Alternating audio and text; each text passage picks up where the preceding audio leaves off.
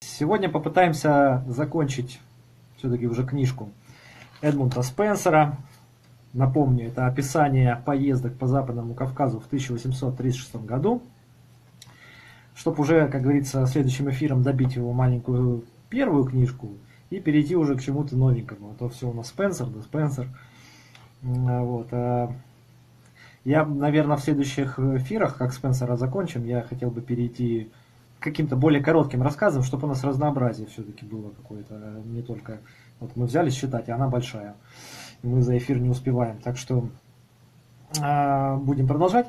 Ну, в общем, я сразу перехожу к делу. А вы, если какие-то вопросы возникают, пишите, я буду так просматривать, чтобы, если что, ответить. Ну и буду стараться комментировать какие-то непонятные моменты. Итак, э, у нас глава 18. А, прошлые эфиры, если кто не видел, можете зайти в YouTube этнографики. Есть ссылка, топ-линк в профиле у меня. Там можно перейти в YouTube. И там я загрузил последние два эфира. Часть первая, часть вторая. Можно их в любой момент посмотреть. Если кто не видел, этот эфир тоже будет. Потом соединим их в одно целое.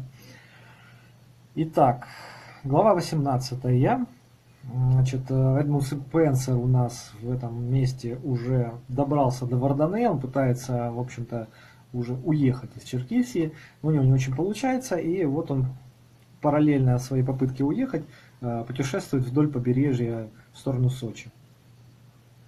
И описывает, что видит. Итак, э, миновав незамеченными линию русских пушек в напомню, здесь имеется в виду форт Головинский, скорее всего, в устье реки Шахе. А, мы вновь продолжили наш путь вдоль побережья. Путь значительно более приемлемый и менее мучительный для наших коней, и счел бы, что не более томительный со всеми его перипетиями, чем всякий иной, что лежит вну через внутренние области в Менгрелию, если учесть время, утерянное на подъем и спуск со столь многочисленных горных кряжей, большинство которых в дождливую погоду абсолютно непроходимы для коней. Конечно, здесь явно прослеживается старая дорога, что вела от Кубани через область Шапсугии и что, как утверждается, тянется до Менгрелии и Имеретии. Петляя по долинам, но так как эта дорога была в некоторой степени окольной, а Черкес никогда не делал крюк путешествия, невзирая ни на всякие препятствия, то мы не последовали по ней из-за нехватки времени, что я потратил на поездки, мною предпринятые вглубь края в сопровождении моего кунака. Во время нашего пути вдоль побережья горы в некоторых местах приближались столь близко к морю, что его волны омывали травы и деревья, как если бы мы двигались вдоль берегов внутреннего озера.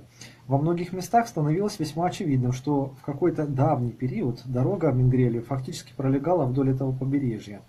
Это подтверждалось и тем обстоятельством, что скалы то тут, то там были прорублены искусственным способом.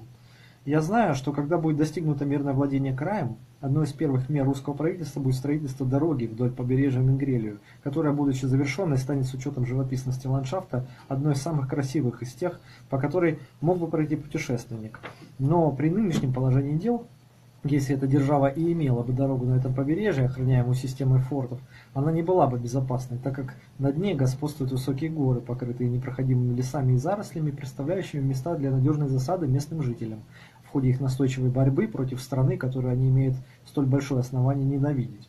Разве не должны мы после этого быть уверенными, учитывая характерные признаки местности и враждебность этого народа к самозванной власти России, что последняя должна совершить самый мудрый поступок, пока не стало слишком поздно, прекратить войну, тем самым хоть немного соглашаясь с общественным мнением цивилизованной Европы, демонстрируя хоть какую-то видимость человеческого чувства, скажем мы, раскаяние за множащиеся беды, что ее агрессивная политика и грабящая край армия причиняют безобидным жителям этих красивых плодородных областей. Войну, что неизбежно превратится в причину постоянного истощения ее казны и населения, покуда в Черкесии останется хоть один лес, хоть одна гора, способная служить местом засады и укрепления для ее сынов. Здесь мы видим, как Спенсер опять э, вот он не может э, сосредоточиться на описательной части и постоянно его скатывает, скатывает, скатывает вот эти вот философские отступления его. А почему его немножко сложновато а, воспринимать, да, вот обрывистость информации. То, что черкесы желают сформировать прочное правительство и вступить в ряды цивилизованных народов, очевидно уже из их настойчивых предложений принять их под опеку Великобритании. И сколь гордыми должны мы быть, обнаруживая, что не только те, коих преследуют за либеральные взгляды в Европе, бегут к нам, чтобы их защитили, но и угнетенные Азии обращаются к нам, как оплоту их надежд.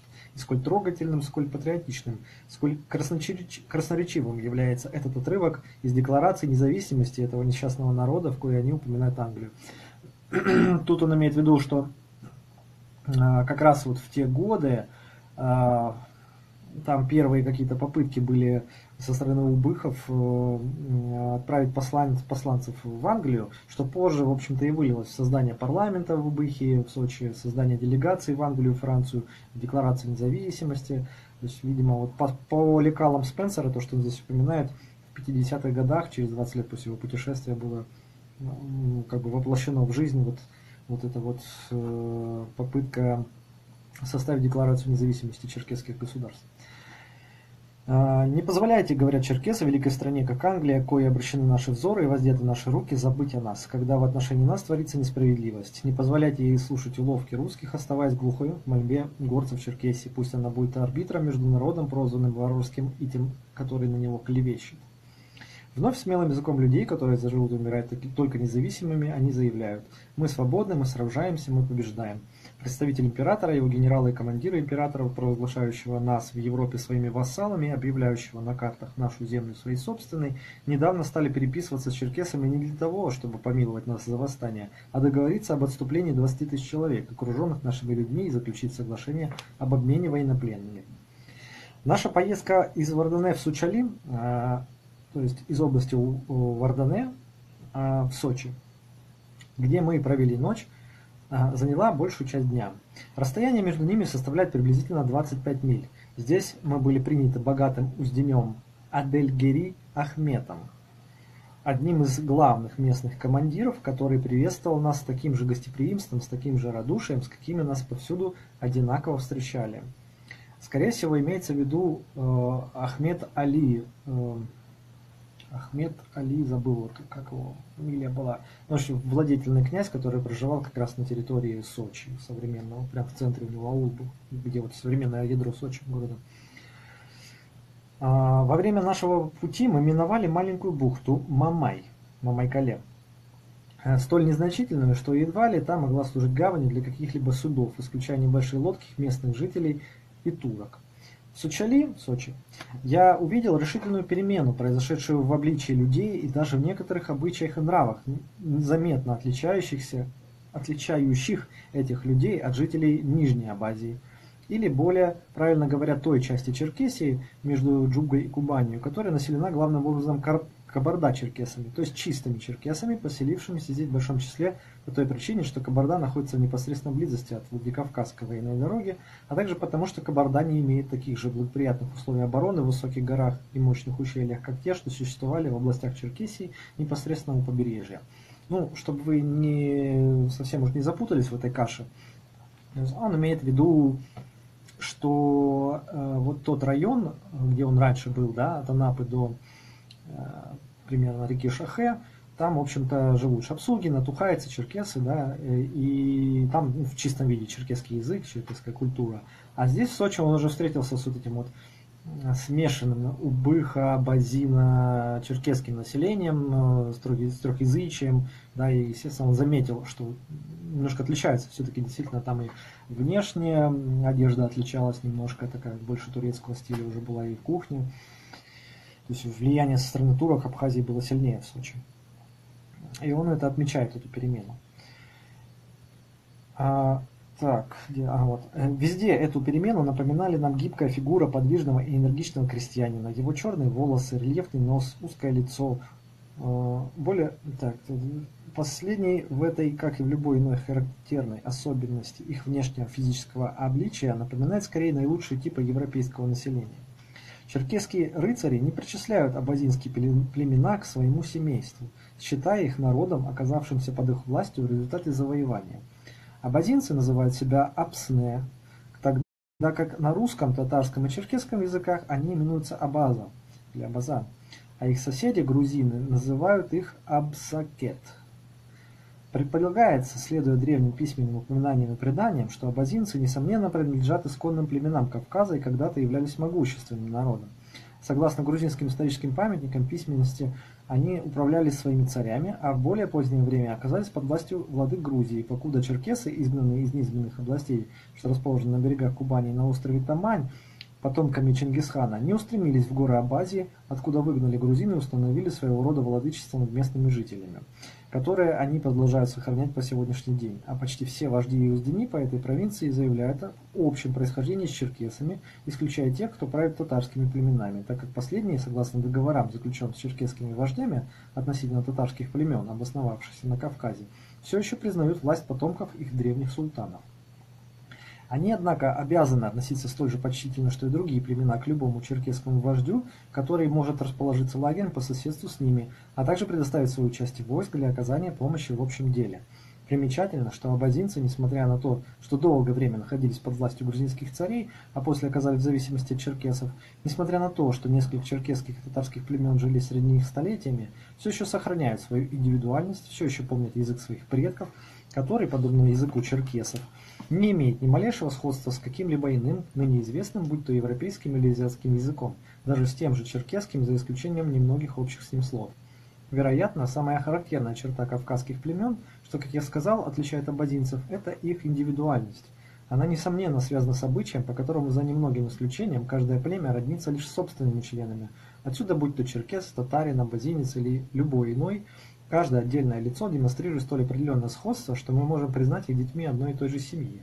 Остальные племена, населяющие Кавказ, как то лезгины, ингуши, осетины, карачаи и так далее, и даже грузины, которые мы можем добавить имеретницев и мингрельцев, говорят каждый в отдельности на особом языке, присущем только им самим, и заметно отличаются в своих обычаях и нравах.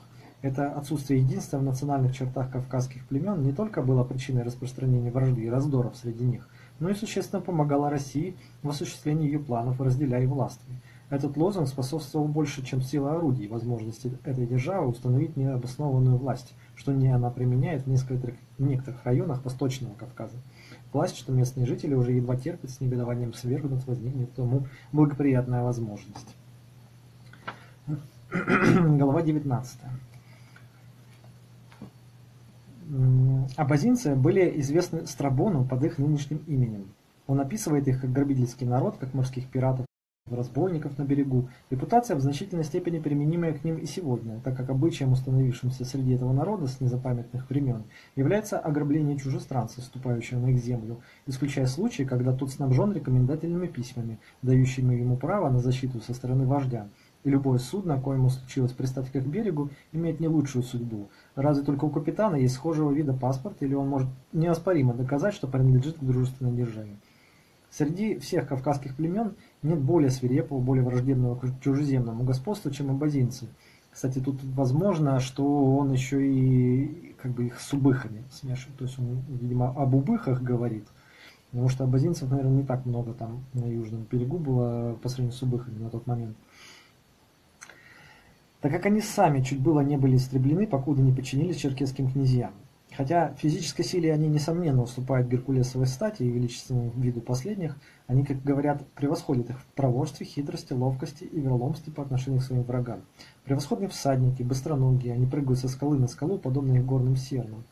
После подчинения их соседей Менгрелов и вторжения России на их территории, Пограничные племена, оказавшись в затруднении, часто присягали ей верности, намереваясь при первой же благоприятной возможности отречься от присяги, что они никогда не забывали делать, как это поднимать массовые мятежи и убивать ее солдат. Действительно, они являются непримиримыми врагами России и поклялись, подобно их черкесским и феодальным правителям, никогда не признавать ее власти. Решение, которое особая природа их края позволяет сполна исполнить. Борьба против такого народа, живущего в самых труднодоступных ущельях Кавказа, возглавляемого вождями, благодаря сильному характеру которых война приобретает свойства приятного времяпрепровождения, должна выглядеть безнадежной, особенно если вспомнить, что вся линия побережья, ими населяемая на Черном море, не имеет ни одной бухты или небольшого залива, что могли бы считаться безопасной гаванью для торгового судна, включая, а, исключая э, Джугу, Пицунду и Сухумкале, но и они не являются таковыми в любое время года. Вследствие долгой власти черкесских князей над абазинцами, последние напоминают черкесов в своем одеянии и во многих домашних обычаях. Они, как и те, никогда не выходят из дома, не будучи полностью вооруженными. Мы не встречаем деревень и сел у абазинцев, они селятся квадратами и кругами, образуя внутренние дворы для их скота. Как и у черкесов, эти поселения обособленно располагаются на берегах какой-то речки или близ обильного источника, часто на склоне горы. Ну, тут он как раз указывает на типичные э, стили прибрежные вот этих поселений, то есть не скученные какие-то аулы, там, э, поселения, а хуторки, то есть где семья, вот семья живет, там старший, допустим, хозяин дома, его дети вокруг, а, это вот дом с несколькими семьями, родовой. Потом там пространство там обширное, допустим, пастбища и сады, и дальше следующий дом. И так вот на многие километры. То есть не в одном каком-то скученном месте, а э, растянувшись по всем долинам и окружающим склонам, такие. Вследствие долгой власти Чер... А, так, это я читал, извините. Их жилища состоят из нескольких, нескольких хижин для себя, гостей и скота. Снаружи и изнутри хижины напоминают уже мной описанные черкесские жилища, а в гостеприимстве и внимании гостю, в искренности и преданности которого они заполучили свидетельство, абазинцы сравнимы с любым иным кавказским племенем. Прежними писателями ошибочно высказывалась мысль, что абазинцы являются кочевым народом, наподобие татар. Мнение, возникшее из того факта, что этот народ, как и другие горцы, имел обычай отгонять свой скот на вершины высоких холмов на несколько летних месяцев ради пастбищной травы, и где сами абазинцы располагались лагерем в войлочных палатках, напоминающих татарские. Из-за гористого характера Абазии поля здесь небольшие. Несмотря на это, у самого бедного крестьянина есть свое хозяйство, состоящее из пастбища для скота, земли для хлебопашества и леса, чтобы запастись топливом. Все это он огораживает аккуратным дощатым забором. Отсюда эти фермы выглядят наподобие многочисленных небольших владений и не только добавляют колорит ландшафту, но и придают краю вид самого густонаселенного. Пахотная земля абазинцев обычно расположена на южном склоне холма, чрезвычайно плодородна, как и земли их долин, открытых лучам солнца, тогда как менее благодатные участки предоставляют достаточный подножный корм для их скота. У них обычные на Кавказе домашние животные, а кони равны по красоте своей тем, что встречаются в других провинциях. Однако порода коней у них похуже, и используются они для перевозки грузов и в земледельческих работах. Кстати, что вот не свойственно обычно было.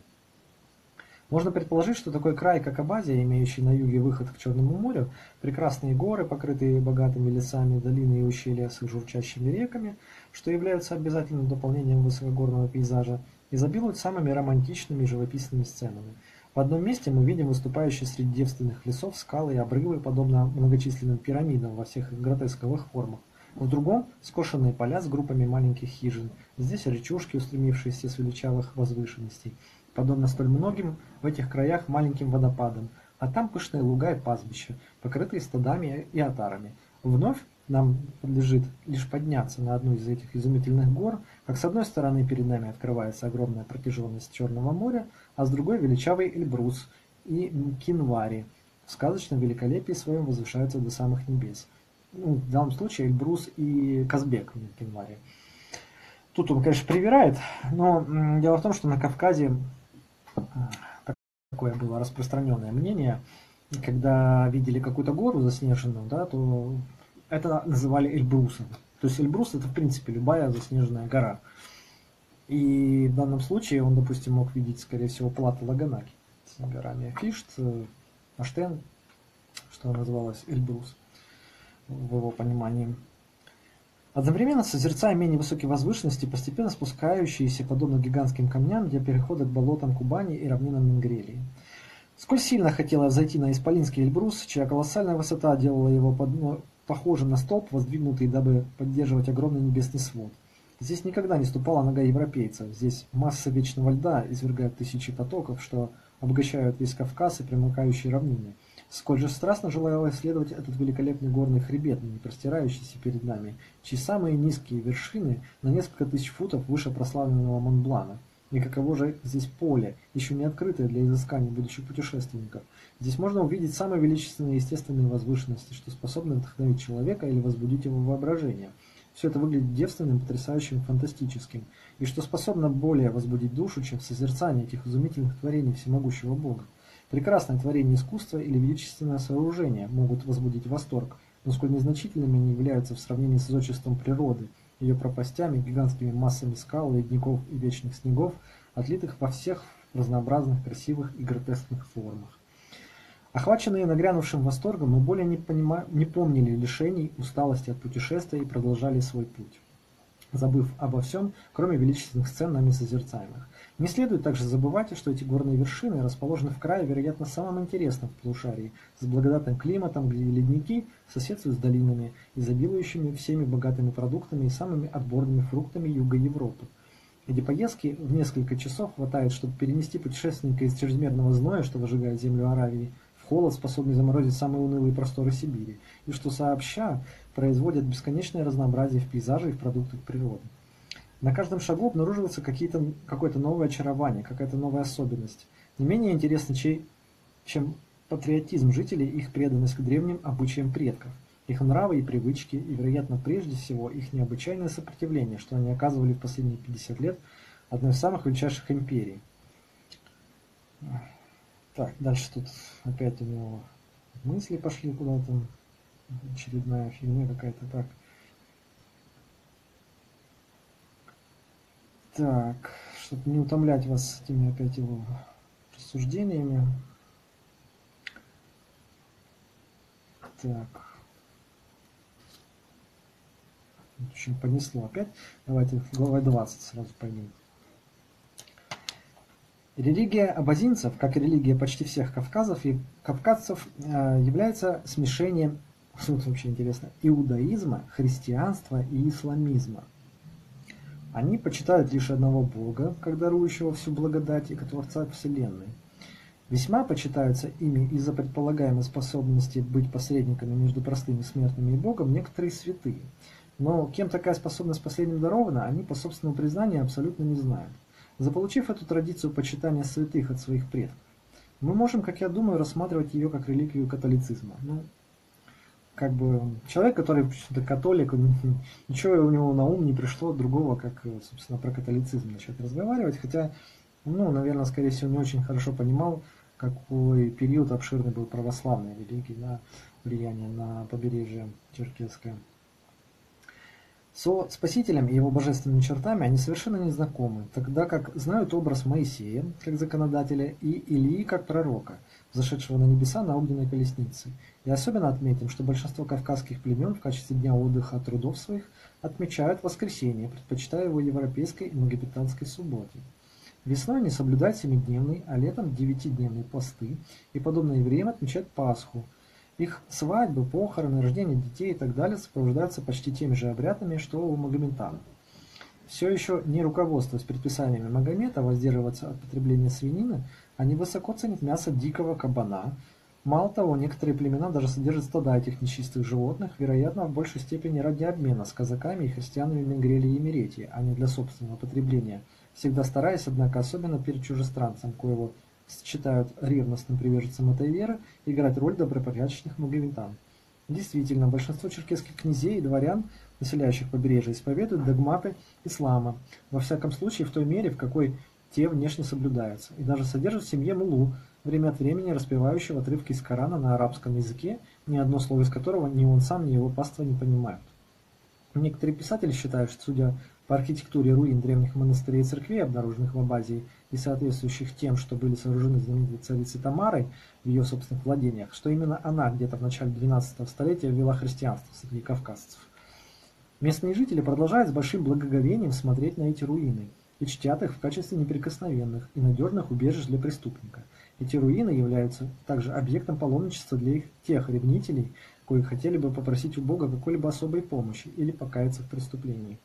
Абазинцы также похожи на черкесов в своей привязанности к священным рощам, где каждый воин в какой-то отдельной роще присваивает себе дерево, которое он украшает некоторыми трофеями своих побед, а также жертвоприношениями, свидетельствующими об его признательности Богу за полученные блага. Перед тем, как отправиться в сражение, все воины привыкли собираться в этих священных рощах, где самый опытный, самый мудрый и самый храбрый среди них старейшина берет меч и, ударяя им по престарелому буку, призывает своих молодых спутников храбрым деянием, упоминая имя противника, с коим абадинцы намереваются сразиться, убеждает их того или убить, сразить, уничтожить без всякого на то сострадания, или покорно смотреть, как отбираются у них поля, захватываются в плен жены и сами они отказываются в цепях. Затем, обращаясь к Беку, старшине, он продолжает. Священное дерево, ты было с незапамятных времен свидетелем исполнения этого ритуала нашими отцами. Они победили, пусть их благословенные души парят над нами, их детьми, и направляют наши мечи к победе. Если нападение готовится на русских, он заключает словами «Помните, человек, умирающий в этой борьбе, сразу же переносится в рай». Эта вера в счастливое бессмертие, когда они гибнут в сражении против России, имеет универсальный характер среди кавказских племен. Срубить дерево в этих священных рощах или лишить их висящих на них приношений считается богохульством, отвратительным преступлением, и по закону человек, совершивший подобную кражу, наказывается смертью. Некоторые из этих священных рощ близ побережья время от времени вырубаются русскими войсками в ходе их продвижения через край, вне всякого сомнения в целях облегчения перехода войск, а также чтобы разрушить убежище, откуда горцы могли бы без риска для себя совершать свои нападения. Черкесы, однако, смотрят на это действие с абсолютно иной точки зрения, считая его одним из развратных кощунств, само собой разумеется, содействующим многократному усилению ненависти суеверных людей по отношению к их захватчикам, коих они клеймят как нечестивых безбожников, среди прочих презрительных эпитетов, какими их одаривают. Кроме этих священных рощ, особо также почитаются некоторые родники, расположенные в глухих романтических местах, ибо этими прозрачными водами их отцы утоляли жажду и поили свои стада и отары. Следовательно, человек, оскверняющий священность этих родников, загрязняя их, или срубая дерево рядом с ними, навлекает на себя гнев за святотатство. Так как горцы говорят, наши отцы, прибыв из опаленной пустыни, обнаружили благое пристанище под их освященной веками тенью. Мы уже сказали, что горцы Абазии уступают черкесам в своем внешнем обличии, но все же являются славными людьми и могли бы быть даже признанными красивыми в любой иной стране. Их черты демонстрируют смешанное выражение неистовой независимости и важности. Хотя их нельзя назвать крупными людьми, никогда они не превышают среднего роста, их телосложение указывает на силу и энергию. Более яростные, чем у нас, взрывы чувств они демонстрируют без какой-либо попытки сдержать их. Но, будучи необузданного нрава при гневе, они вскоре успокаиваются, если их побронят старейшины. По самой пустячной провокации вспыльчивый юноша, необузданный жизненными испытаниями, хватается за саблю, но никогда не использует против своего соплеменника огнестрельное оружие, так как оно предназначается для того, чтобы отомстить за кровь своего друга или для того, чтобы изгнать захватчиков из своей земли. Чужестранец, становясь впервые свидетелем одного из таких дуэльных сражений, которые, между прочим, нередки среди людей, столь чувствительных ко всякой обиде, мог бы сделать вывод, исходя из ожесточенности схватки, что один из ее участников неизбежно должен погибнуть. Но ничего подобного не происходит, так как каждый отражает нападение другого с такой исключительной ловкостью, что в конце в конечном итоге дуэлянты прекращают схватку совершенно измученными и обычно получив несколько царапин. Так как эти дуэли обычно проходят верхом на конях, ни один европеец не может даже отдаленно представить себе их проворство и необычное искусство, ими демонстрируемое в уклонении от смертельных ударов друг друга, наносимых с неистовством и силой, достаточными, чтобы свалить быка. Их устойчивое сидение в седле, одновременное движение коня и всадника вполне могли бы породить миф о кентавре – во время этих ужасающих дуэлей их товарищи взирают на происходящее с таким хладнокровием, как если бы они наблюдали игру в бадминтон.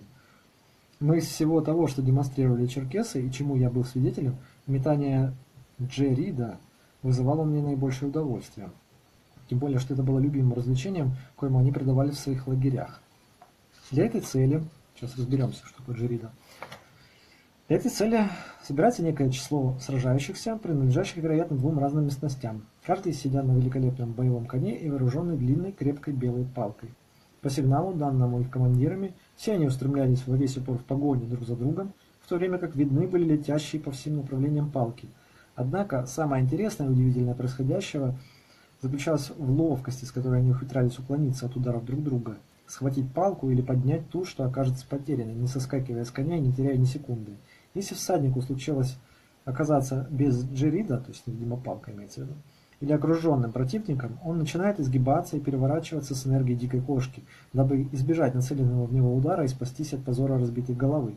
И вот, полностью укрывшись под брюхом своего коня, а затем распластавшись во всю длину на его спине и вновь наклонившись на бок, он наконец получает обратно джерит и в свою очередь становится участником нападающей стороны. Европейцу кажется почти невозможным, что человеческое тело способно принимать столь многочисленные и разные положения, но чего только нельзя добиться в результате упорных тренировок. Действительно, главным образом, благодаря этим спортивным играм, черкесы и превосходят любой иной народ в искусстве верховой езды и тех военных упражнениях, что требуют быстроты и ловкости. Глава 21. Полигамия в соответствии с древними законами и обычаями абадинцев позволительна. Но так как жену на Кавказе можно заполучить лишь купив ее, то, вероятно, по таковому соображению они обычно довольствуются одной. Такое своеобразное мышление. В противоположность обыкновению, существующему у мусульман, жена у черкесов является скорее спутником, чем слугой своего мужа тогда как жены и дочери черкесских князей, кои в большей степени следуют турецким нравам, живут в отдельных от своих повелителей жилищах, принимают у себя лишь врача или важного гостя. Крестьянин обитает в одной хижине со своей женой и детьми и не укрывает их от социального общения с соседями или незнакомцами. Что касается свадьбы, развода, воспитания детей, абазинцы соблюдают те же законы, обряды, церемониалы и так далее, что и черкесы. Женщины чрезвычайно трудолюбивы, пока их мужья заняты войной, охотой и боевой подготовкой – они исполняют не только домашние работы, но и производят ткань, шьют одежду для своих семей, следят за скотом, даже занимаются земледелием. Они, как правило, красивы, особенно молодые, которые рдеют румянцем здоровья, приданным им бодрящим воздухом гор. Бойкие, простодушные и занимательные. Их прическа и головной убор напоминают моду черкесских женщин, им весьма подходящую, и, подобно последним, абазинки вполне осознают преимущество привлекательной внешности и красоты лица – ибо представительница высших сословий никогда не выходит из дома без перчаток на своих руках, толстой вуали, дабы укрыться солнечных лучей, а в сырую погоду без высоких башмаков на деревянной подошве, дабы сберечься от болезненных последствий влажности. И в самом деле, кавказцы обоих полов должны быть крайне бедны, если будут без обуви. Как мужчины, так и женщины очень любят красивую одежду. Одеяние, во-первых, украшено каймой серебряной вышивки в изящном исполнении их жен – Серебряные и золотые орнаменты на их поясах и оружии сделаны с мастерством и оригинальностью, удивительными для европейца, когда тот сравнивает их изолированное положение и простой образ жизни со столь искусственным талантом их художника и изобретателя. Я сомневаюсь, что по своей закалке их оружие имеет себе равное в Европе. Черкесские витязи, будучи великолепными знатоками оружия, обычно добывают себе мечи и кинжалы у абазинцев, в высшей степени искусных как оружейников. Проистекает ли это превосходство из природы кавказского металла или из высокого качества и способа изготовления его, сказать я не могу, так как племена, производящие это оружие, живут на немалом расстоянии от побережья. Женщины, в свою очередь, украшают платья, напоминающие черкесские, каймой цветной вышивки и дополняют свою одежду широкой вуалью белого или какого-нибудь иного яркого цвета. Впечатление от всего этого остается броским, но вполне подобающим. Цвет штанов указывает на то, является ли их владелица девицей, замужней или вдовой. Девственно-белые носили девушки, красные та, что принимала на себя обязанности замужней женщины, а синие надевала несчастная или, может быть, счастливая, но пожилая женщина, пережившая своего повелителя. Так как эти племена, коим мы можем добавить всех кавказцев, чрезвычайно пристрастны к одежде, я придерживаюсь того мнения, что груз ярко раскрашенной шерстяной ткани, шелка, или хлопчато-бумажного материала будет принят с жадностью и обеспечит в ходе обмена прибыль любому торговцу, как поставка пистолетов и двухстволок с затвором, коим кавказцы отдают предпочтение вместо своего огнестрельного оружия. Князья и дворяне абазинского происхождения не занимают такого высокого места, как черкесский аристократ, который в связи с этим присваивает себе преимущественное право не только над всяким иным племенем на Кавказе, но и соседних стран, утверждая, что ни один род не может быть столь знатным, если как когда-либо породнился с семьей более низкого социального положения. И действительно, нет людей, столь сильно гордящихся своим высоким происхождением, чем князья Черкесии. В результате того едва ли есть примеры неравных браков, ибо княжеский сын неизменно берет себе в жены княжескую дочь, а дворянин – дочь равного с ним по званию человека. Но черкесский дворянин всегда равен по достоинству своему, следуя обычаям и законам, князю любого иного племени, народа или края. Мнение, сложившееся в Европе, что князья и дворяне черкесского происхождения продают своих дочерей, не обращая внимания на их социальный статус туркам и персам для их гаремов, абсолютно неверное. Обычно, как мне рассказали, когда слава о красоте какой-либо черкесской княжны достигает слуха какого-то восточного князя или государя, то начинаются переговоры с ее отцом за согласие отдать замуж его красавицу дочь. И только после того, как переговоры приходят к успешному своему завершению, Отец получает, следуя восточному обычаю, в обмен на свою дочь большие соответствующие случаю подарки. Большинство девочек, продаваемых на базарах Константинополя и главных городов Малой Азии и Персии, в качестве черкешинок являются или базинками, или детьми черкесских крестьян, или пленницами, захваченными у соседних казаков или у тех кавказских племен, которые присягнули России. Абазинцы, подобно черкесам, считают презрением к жизни добродетели и скорее убьют себя, чем примиряться с рабством, несчастьем и бессилием. Это чувство не является преобладанием. Так, секундочку. Тут все никак не угомоняться, и WhatsApp все, всякую чушь карантинную шлют. Так, это чувство не является преобладающим более среди мужчин, нежели у женщин, которые, часто не успев стать пленницами своих врагов, бросаются на острие их оружия. О нескольких таких случаях мне поведал атаман черноморских казаков, которого я встретил, путешествуя в Крым-Татарии. Судьба незаконорожденных детей была бы печальна на Кавказе, не будь этим людям присуща доброта, ибо по законам и обычаям почти всех кавказских племен те не только не имеют права на родовое наследство, но и абсолютно не связаны с кем-либо узами кровного родства. Следовательно, будь они проданы в качестве рабов, ни одна дружеская рука не выкупит их, или умри они от руки убийцы, ни один родственник не отомстит за это деяние, и они даже могут быть преданы смерти своими законорожденными братьями. Однако редко случается, чтобы с ними обращались столь сурово, и их законорожденные братья из уважения к памяти своего отца часто делятся с ними оставленной им собственностью и защищают их в течение всей жизни. С другой стороны, если черкес не имеет детей от своей жены, он берет себе ее служанку, подобно Аврааму, и дети последние наследуют от своего отца всю его собственность и все привилегии, как если бы они являлись его законными отпрысками. Таким же образом, незаконнорожденный сын черкесского князя или дворянина не может наследовать какую-либо часть собственности своего отца или часть его прав и титулов, покуда своей храбростью, красноречием и способностями он не завоюет для себя уважение своих законорожденных братьев – обычно учтиво жалующих ему титул отца и с этого времени уважительно относящихся к нему как к брату. Но если даже он добьется руки княжны, униженность продолжает преследовать его отпрысков, которые не могут владеть никаким иным титулом, кроме титула второразрядного дворянина. Когда человек умирает, то каковым бы ни было его положение, обычай отдает его жене управление всеми домашними делами, и она продолжает единолично ведать собственностью вплоть до своей смерти. После чего каждый сын получает свою долю, или, собравшись вместе, сыновья договариваются о совместном владении этой собственностью. При, этом, понимая, а, при всем этом самая большая доля достается по праву рождения старшему брату. Если какой-либо сестре случится остаться незамужней, она становится подвластной своему старшему брату и составляет часть его наследства, а он обязан обеспечивать ее всем необходимым, покуда выгодно не отдаст ее замуж. А если его прекрасная подопечная молода и привлекательна, то она является для него источником приобретения немалого числа скота. Но следует торопиться найти ей мужа, ибо черкесская женщина после 18 весьма значительно теряет свою цену. Законы против распущенности крайне суровы. Если человек обвиняется в совершении незаконной связи с замужней или незамужней женщиной, он привлекается к суду старейшин своего племени, которые редко когда не наказывают его в соответствии с обстоятельствами совершения преступления большим штрафом или вечным изгнанием. Обесчищенная жена, будучи возвращенной родителям, продается как рабыня, и только женщина разделяет подобную судьбу.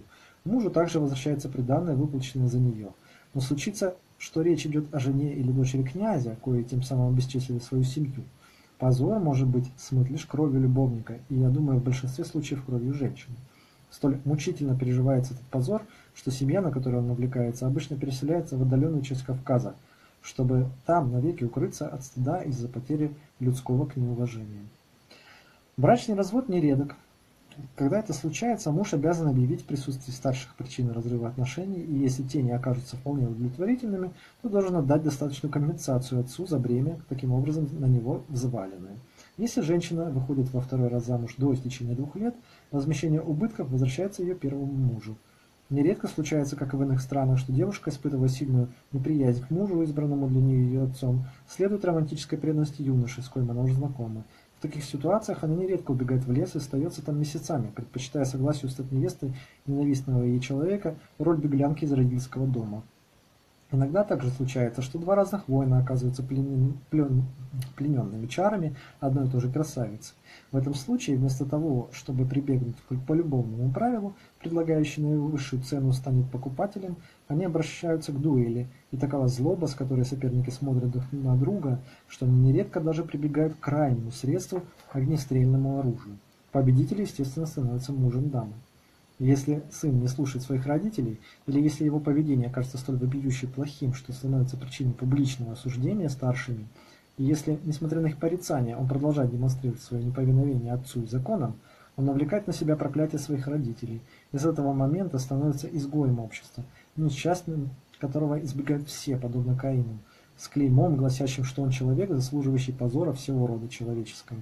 Таковы эти и многие иные патриархальные законы этого необыкновенного и романтичного народа, сохранившего основы морали и суровое наказание порока, законы и обычаи исключительно хорошо адаптированные к столь первозданным в своих обыкновениях, столь далеким от искушения цивилизованной жизни, от ее потребностей, удобств и всей ее вереницы пороков людям.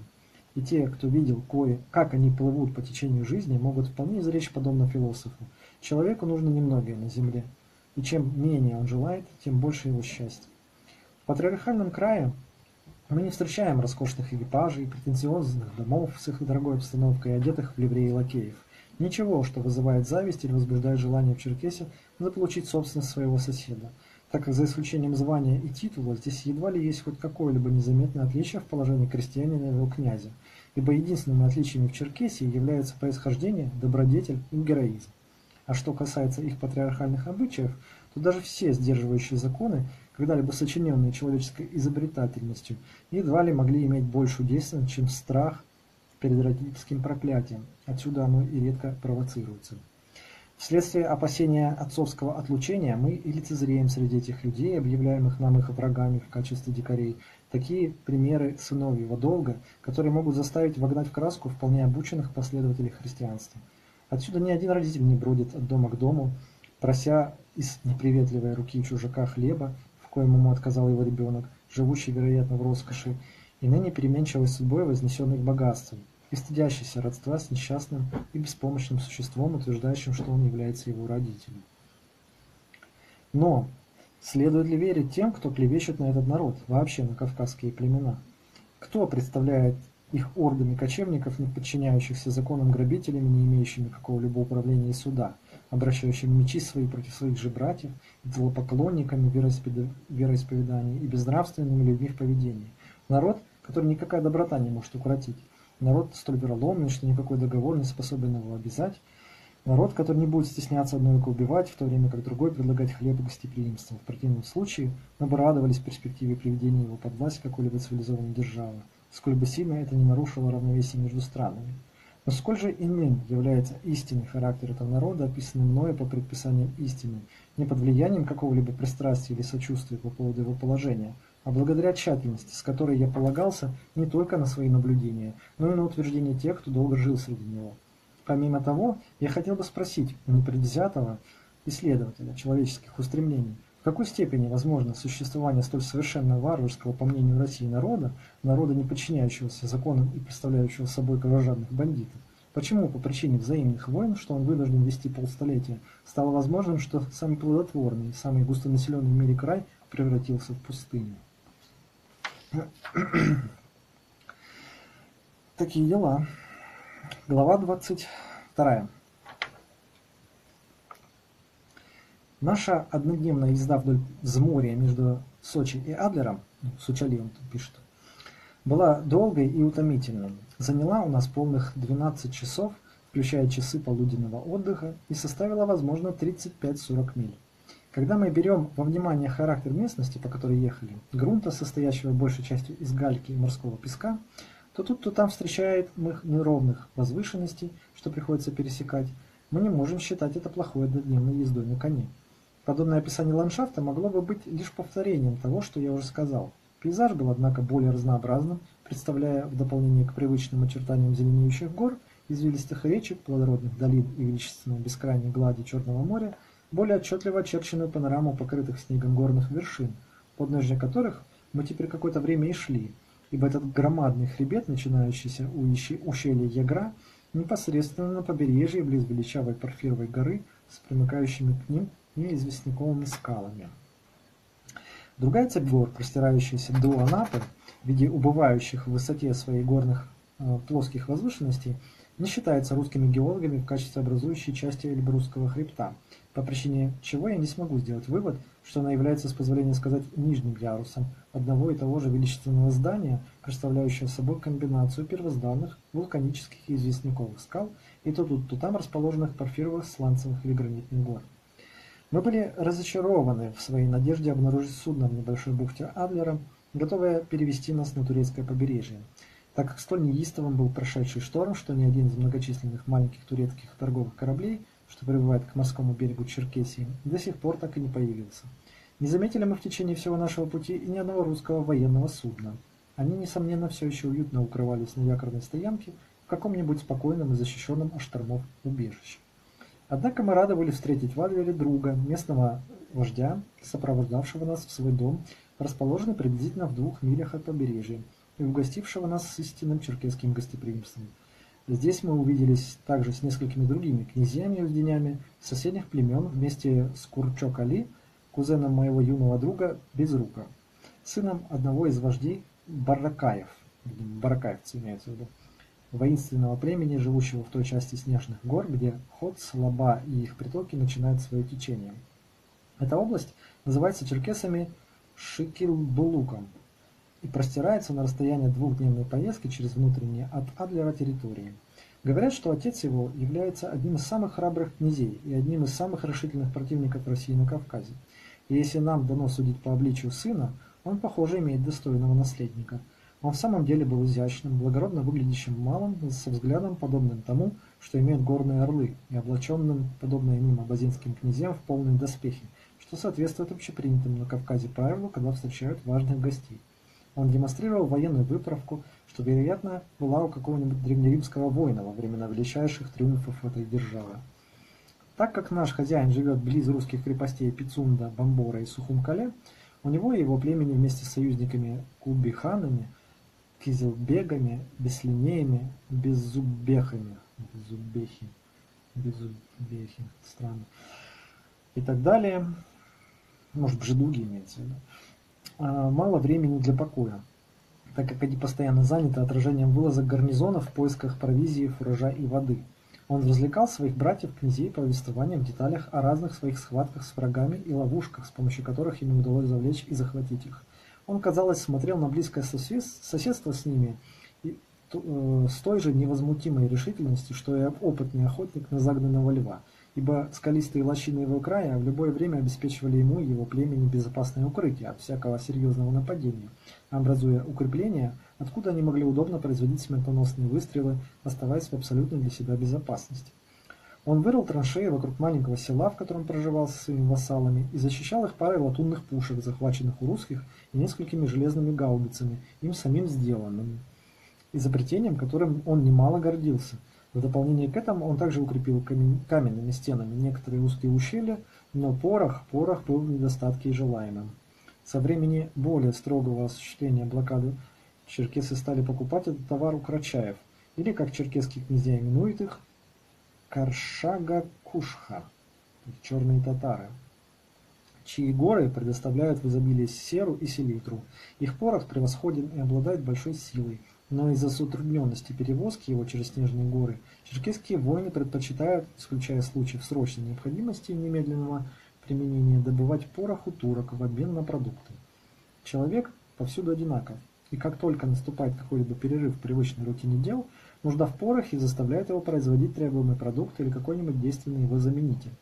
С течением времени, вне всякого сомнения, кавказские горцы будут производить для себя достаточное количество пушечного пороха, не полагаясь на поставки турок – так как край изобилует сырьем для его изготовления. А что касается соли, кроме длинной линии побережья, которой они продолжают владеть на Черном море, я указал несколько соляных источников моим черкесским друзьям, которые могут при должном умении справиться с делом, в достаточной степени удовлетворить потребности соседних племен. Вместо соли те привыкли приправлять свою пищу шху, своего рода кислым молоком. И что интересно, хотя многие племена редко употребляют соль, используя шху, их здоровье, как я уже упоминал, ни в малейшей степени не расстроилось. Но такой народ, как черкесы, столь страстно преданный конным упражнениям в войне и охоте, а во время передышки от них присмотрят за своими отарами и стадами, вкупе с домашними приготовлениями, находят мало свободного времени заниматься обработкой земли и ремесленничеством.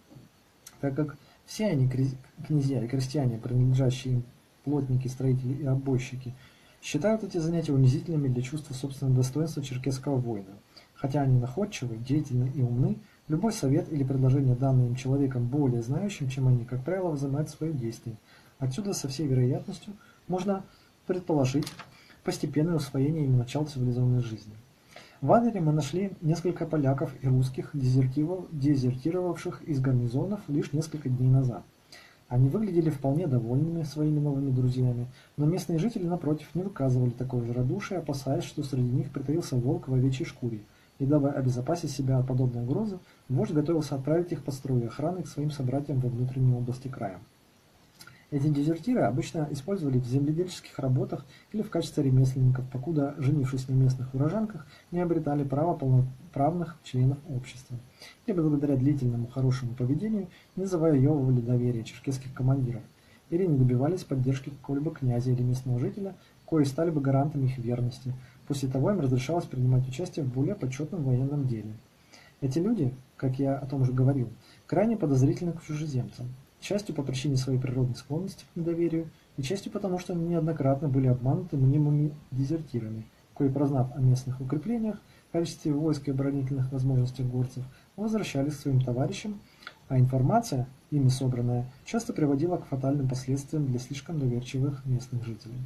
Отсутствие доверия, таким образом порожденное, является наиболее прискорбным, ибо большинство дезертиров оказываются людьми достаточно талантливыми – Непокорные поляки, принужденные служить в русской армии, или уроженцы России, признанные виновными в том, что придерживаются мыслей, неодобряемых правительством, призывались в Кавказскую армию, что означало своего рода ссылку, и, как и следовало в таких обстоятельствах ожидать, они превращались в самых непримиримых врагов России.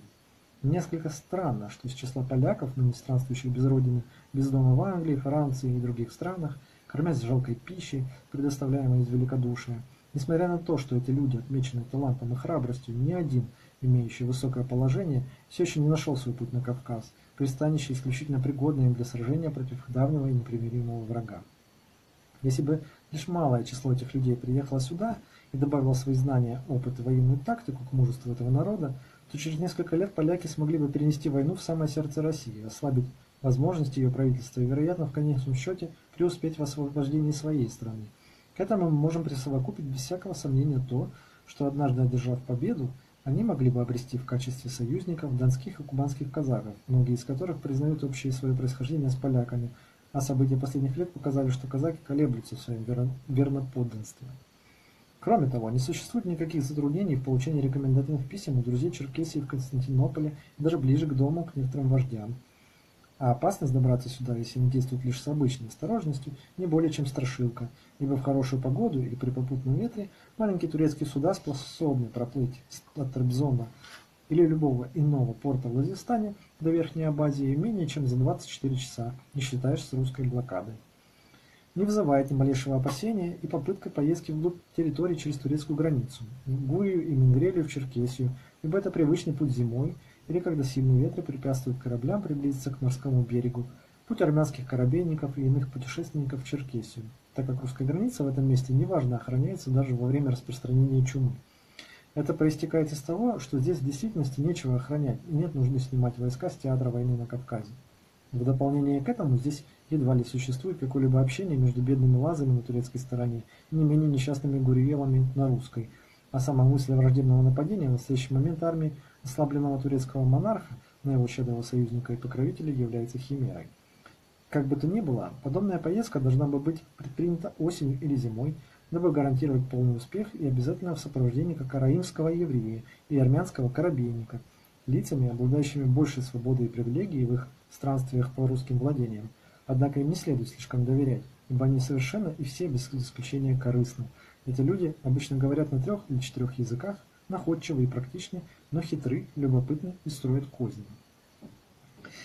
Благодаря торговым сделкам с жителями Кавказа, эти люди лично знакомы с многими влиятельными вождями различных племен и, что в равной степени важно для того, чтобы быть проводником, хорошо знают пути и тайные маршруты.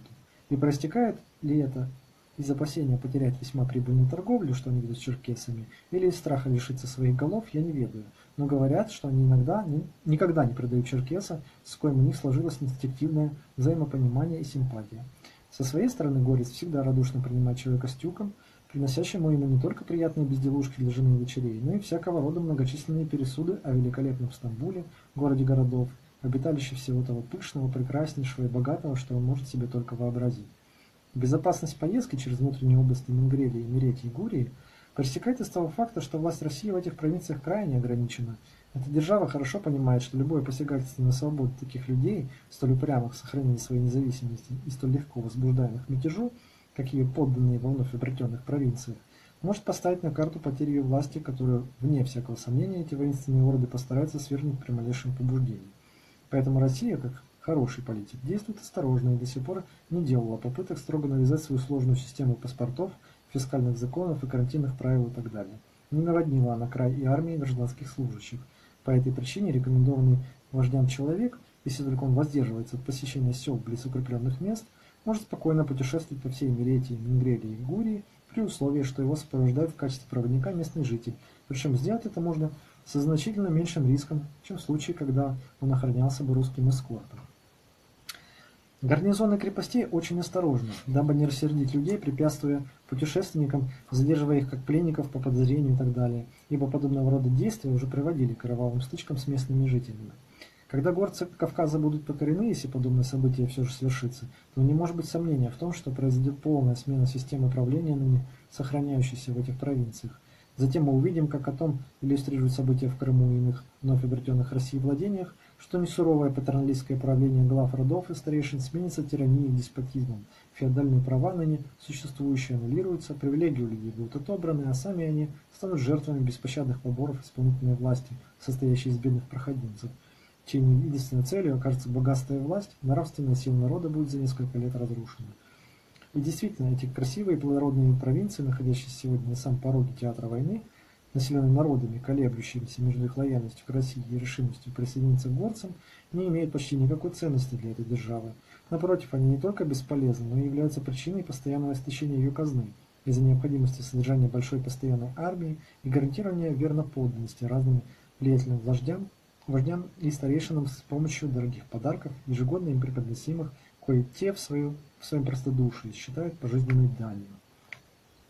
В дополнение к неблагоприятному положению, с которым Россия вынуждена бороться, управляя людьми, чуждыми ей в своих обычаях, нравах и языке, их вожди, князья и старейшины, главным образом черкесского происхождения, и обладают всеми феодальными правами. Восстание в Мингрелии или в какой-либо иной из провинций на востоке Кавказа могло бы уничтожить ее власть полностью. Племена, обитающие и возвышающиеся частях грузинских провинций, Имеретии и Мингрелии, а, Гудамакареи, Кевсереты, Пшавы, Туши, Тушинцы, Митхетхи и многие иные кистинского и стинского происхождения никогда не были покорены и все еще тревожат русские войска в узких ущельях и на редко посещаемых дорогах, что ведут к этим провинциям. Эти племена, прозванные русским правительством бандитами, говорят, связанные клятвой, передаваемой от отца к сыну, никогда не покорятся власти извечного восточного врага. Это во многом так, ибо ни один путешественник, именующий себя русским или имеющий удостоверение, полученное от этого правительства, не осмелится проехать через этот край, не будучи охраняемым большим эскортом, так как, несмотря на то, что эти районы не столь укреплены ущельями и опасными перевалами, как Западный Кавказ, все же повсеместно покрыты густыми лесами и изобилуют крутыми неровными скалами, пещерами и горными долинами, так что один отряд мародеров, хорошо снабженный боеприпасами, способен разгромить половину армии, покуда остальная ее часть успеет обнаружить скрытые позиции врага. После разгрома Янычар и после прекращения гражданских войн в Персии, многие объявленные незаконно беглецы именно здесь нашли для себя пристанище. Эти люди вместе с недовольными русским правлением Грузии и других восточных провинциях Кавказа к ним примкнувших, в последние годы усилили враждебность местных жителей, и русский офицер сказал мне, будучи в Редуткале, что они, не колеблясь, убьют его соплеменников лишь потому, что они русские. Он также присовокупил, что если все кавказские племена страстно желают освободиться и установить власть князей со своими национальными законами, он весьма сомневается, сможет ли какая-либо держава, каковыми сильными и энергичными ни были ее действия, преуспеть в действительном их покорении после стольких лет мучительных испытаний, ибо почти каждое племя в Восточном Кавказе, неоднократно щедро одаренное в ходе признания русского правления, все же при первой предоставленной благоприятной возможности никогда не отказывалось поднять восстание и устроить резню войск. Только лезгины находились в состоянии войны с Россией более целого столетия. Эдмунд Спенсер. Описание поездок по Западному Кавказу в 1836 году. Эдмунд Спенсер. Описание поездок по Западному Кавказу в 1836 году. Продолжаем читать. Вторая книга большая Эдмунда Спенсера. Глава у нас следующая, номер 23. Тут Спенсер продолжает описание своей поездки, уже покидая Адлер дальше на восток. Покидая Адлер, мы заполучили пополнение к нашему отряду в лице Курчокали, молодого Баракаевского вождя и его лиц сопровождения, кои, совершив объезд, дабы посетить своих союзников, теперь отправились в путь, намереваясь, согласно местному обычаю, встретить Карачаевскую княгиню, помолвленную невесту брата Курчока Али. Горы теперь достигали огромной высоты. Снег покрывал некоторые их вершины, в то время как на их склонах простирались леса, окуная похожие на перья ветви деревьев в речку, что омывало их подножье. Вид местности тоже изменился, становясь более суровым и обнаруживая малое присутствие населения. Мы продолжали наш путь вдоль отлогого морского берега, покуда не достигли маленькой речки Катох. Затем, следуя по ее неровным берегам, направились во внутренние области и провели ночь с одним из вождей племени Бессубех чьи владения простирались до Сухумкале. Мы частично уклонились от этого пути, дабы не столкнуться с каким-либо русским из русских гарнизонов в Пицунде, Бамборах и Сухумкале, крепостях, которые обеспечивают России полное господство над этой частью побережья. И частично потому, что это был самый близкий путь в Эмеретию и Грузию. Место назначения вождей, образующих наше сопровождение, тоже согласившихся с уместностью нашего решения уклониться от Менгрейского побережья и направиться вглубь провинции. Во всяком случае, выбрав этот путь, мы были уверены, что гостеприимно будем приняты местными жителями, и хотя до сих пор они, как и эмеретинцы, оставались безучастными в борьбе горцев с Россией, все же глубоко сочувствовали судьбе храбрых черкесов и помогали в их усилиях снабдить себя военным снаряжением и солью для скота. За эти добрые услуги благодатные горцы воздерживались от опустошительных военных действий на равнинах Менгрелии, что было бы легче легкого при их умелом владении всеми горами, что господствуют над этой провинцией. Проникнув на 7 или 8 миль во внутренней области, мы покинули берега Катоха и, избрав юго-восточное направление, прошли через глубокую расселину в холмах, явно являвшуюся высохшим руслом какого-то потока, покрытым круглыми камнями. Этот путь вел через изумительный горный кряж в долину Фандра, омываемую маленькой речкой с тем же названием. По причине близости снежных гор к Черному морю, в этой части Абазии ни одна из ее рек не является судоходной даже для самых маленьких суденышек, будучи всего лишь речушками в хорошую погоду, но превращающимися в стремительные горные потоки во время долгих дождей, они, однако, очень важны горцу, так как берега представляют собой пастбища и луга, а их воды – питье для скота во время летних знойных дней. Здесь мы встретили корчевскую княжну с кавалькадой рыцарей и прекрасных дам, ее сопровождавших, приблизительно из 20 человек, кое все без исключения восседали на конях и, естественно, были хорошо вооружены.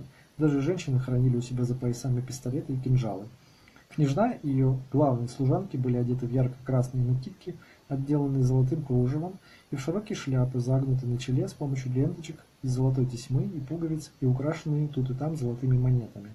Накидки во многих местах были отмечены печатью почтенной древности, где-то поблекшие, где-то залатанные кусочками более яркого цвета. Они, вероятно, были фамильными ценностями и в течение столетий и по какой-то суеверной причине никогда не носились, исключая случаи, подобно нынешнему, предусматривающему больше, чем обычную демонстрацию восточного великолепия. Однако это не было результатом бедности или какой-либо нехватки одежды среди этих людей, ибо на всем Кавказе они славились производством носимого ими одеяния. Княжна отличалась от своих юных спутниц лишь огромного размера ярко-красным черпаком, покрывавшим ее лошадь, концы которого почти достигали земли. Он был пышно украшен золотой вышивкой и выглядел из-за своего возраста столь же заслуживающим почтения, что и мантии вместе с шляпками. Дворянин скачет то с одной, то с другой стороны лошади своей госпожи, особо заботясь, чтобы животное не испугалось и не сделало неверного шага, могущего создать угрозу жизни его ценной ноши. То было, однако, весьма излишней мерой предосторожности и, скорее, частью обряда, соблюдаемого в таких случаях, так как никто из благородных рыцарей сопровождавших не сидел крепче в себе, чем сама прекрасная княжна. Некоторые присутствующие лица мужского пола были нижних чинов, в дополнение к обычному вооружению, носимому горцами, были вооружены топориками с целью вырубки кустарников, что могли мешать продвижению кортежа и составлению плотов, на которых можно было бы переправить дамы и их багаж через реки, если то кажется необходимым. Среди всего этого великолепия и сословной парадности в немалой степени нелепым было увидеть запасы продовольствия, состоящие из ячменя и другой муки в мешках, будулей со шху, кислым молоком, бараньих лопаток и ног, свисающих с их седельных лук. Княжна и ее главные служанки покрыты были широкими прозрачными вуалями, кои совершенно не были предназначены для того, чтобы скрыть от взора их хорошенькие лица, ибо за исключением одного или двух из них остальные большей частью были открыты. Возможно, что лишь старые или некрасивые воспользовались муслиновым покровом, в то время как остальные были действительно красивые, особенно княжна, чья прекрасная наружность и живые возвышенные черты лица позволяли нам воочию представить себе древнюю амазонку. Выражение ее лица было весьма отличным от женской привлекательности, что характеризует красавиц в нашей собственной стране, будучи скорее обличием той, что могла бы править царством, командовать армией или придать мир огню. Я не мог достаточно налюбоваться обходительным поведением красивого юноши, посланного его братом, дабы сопроводить свою невесту к ее будущему дому.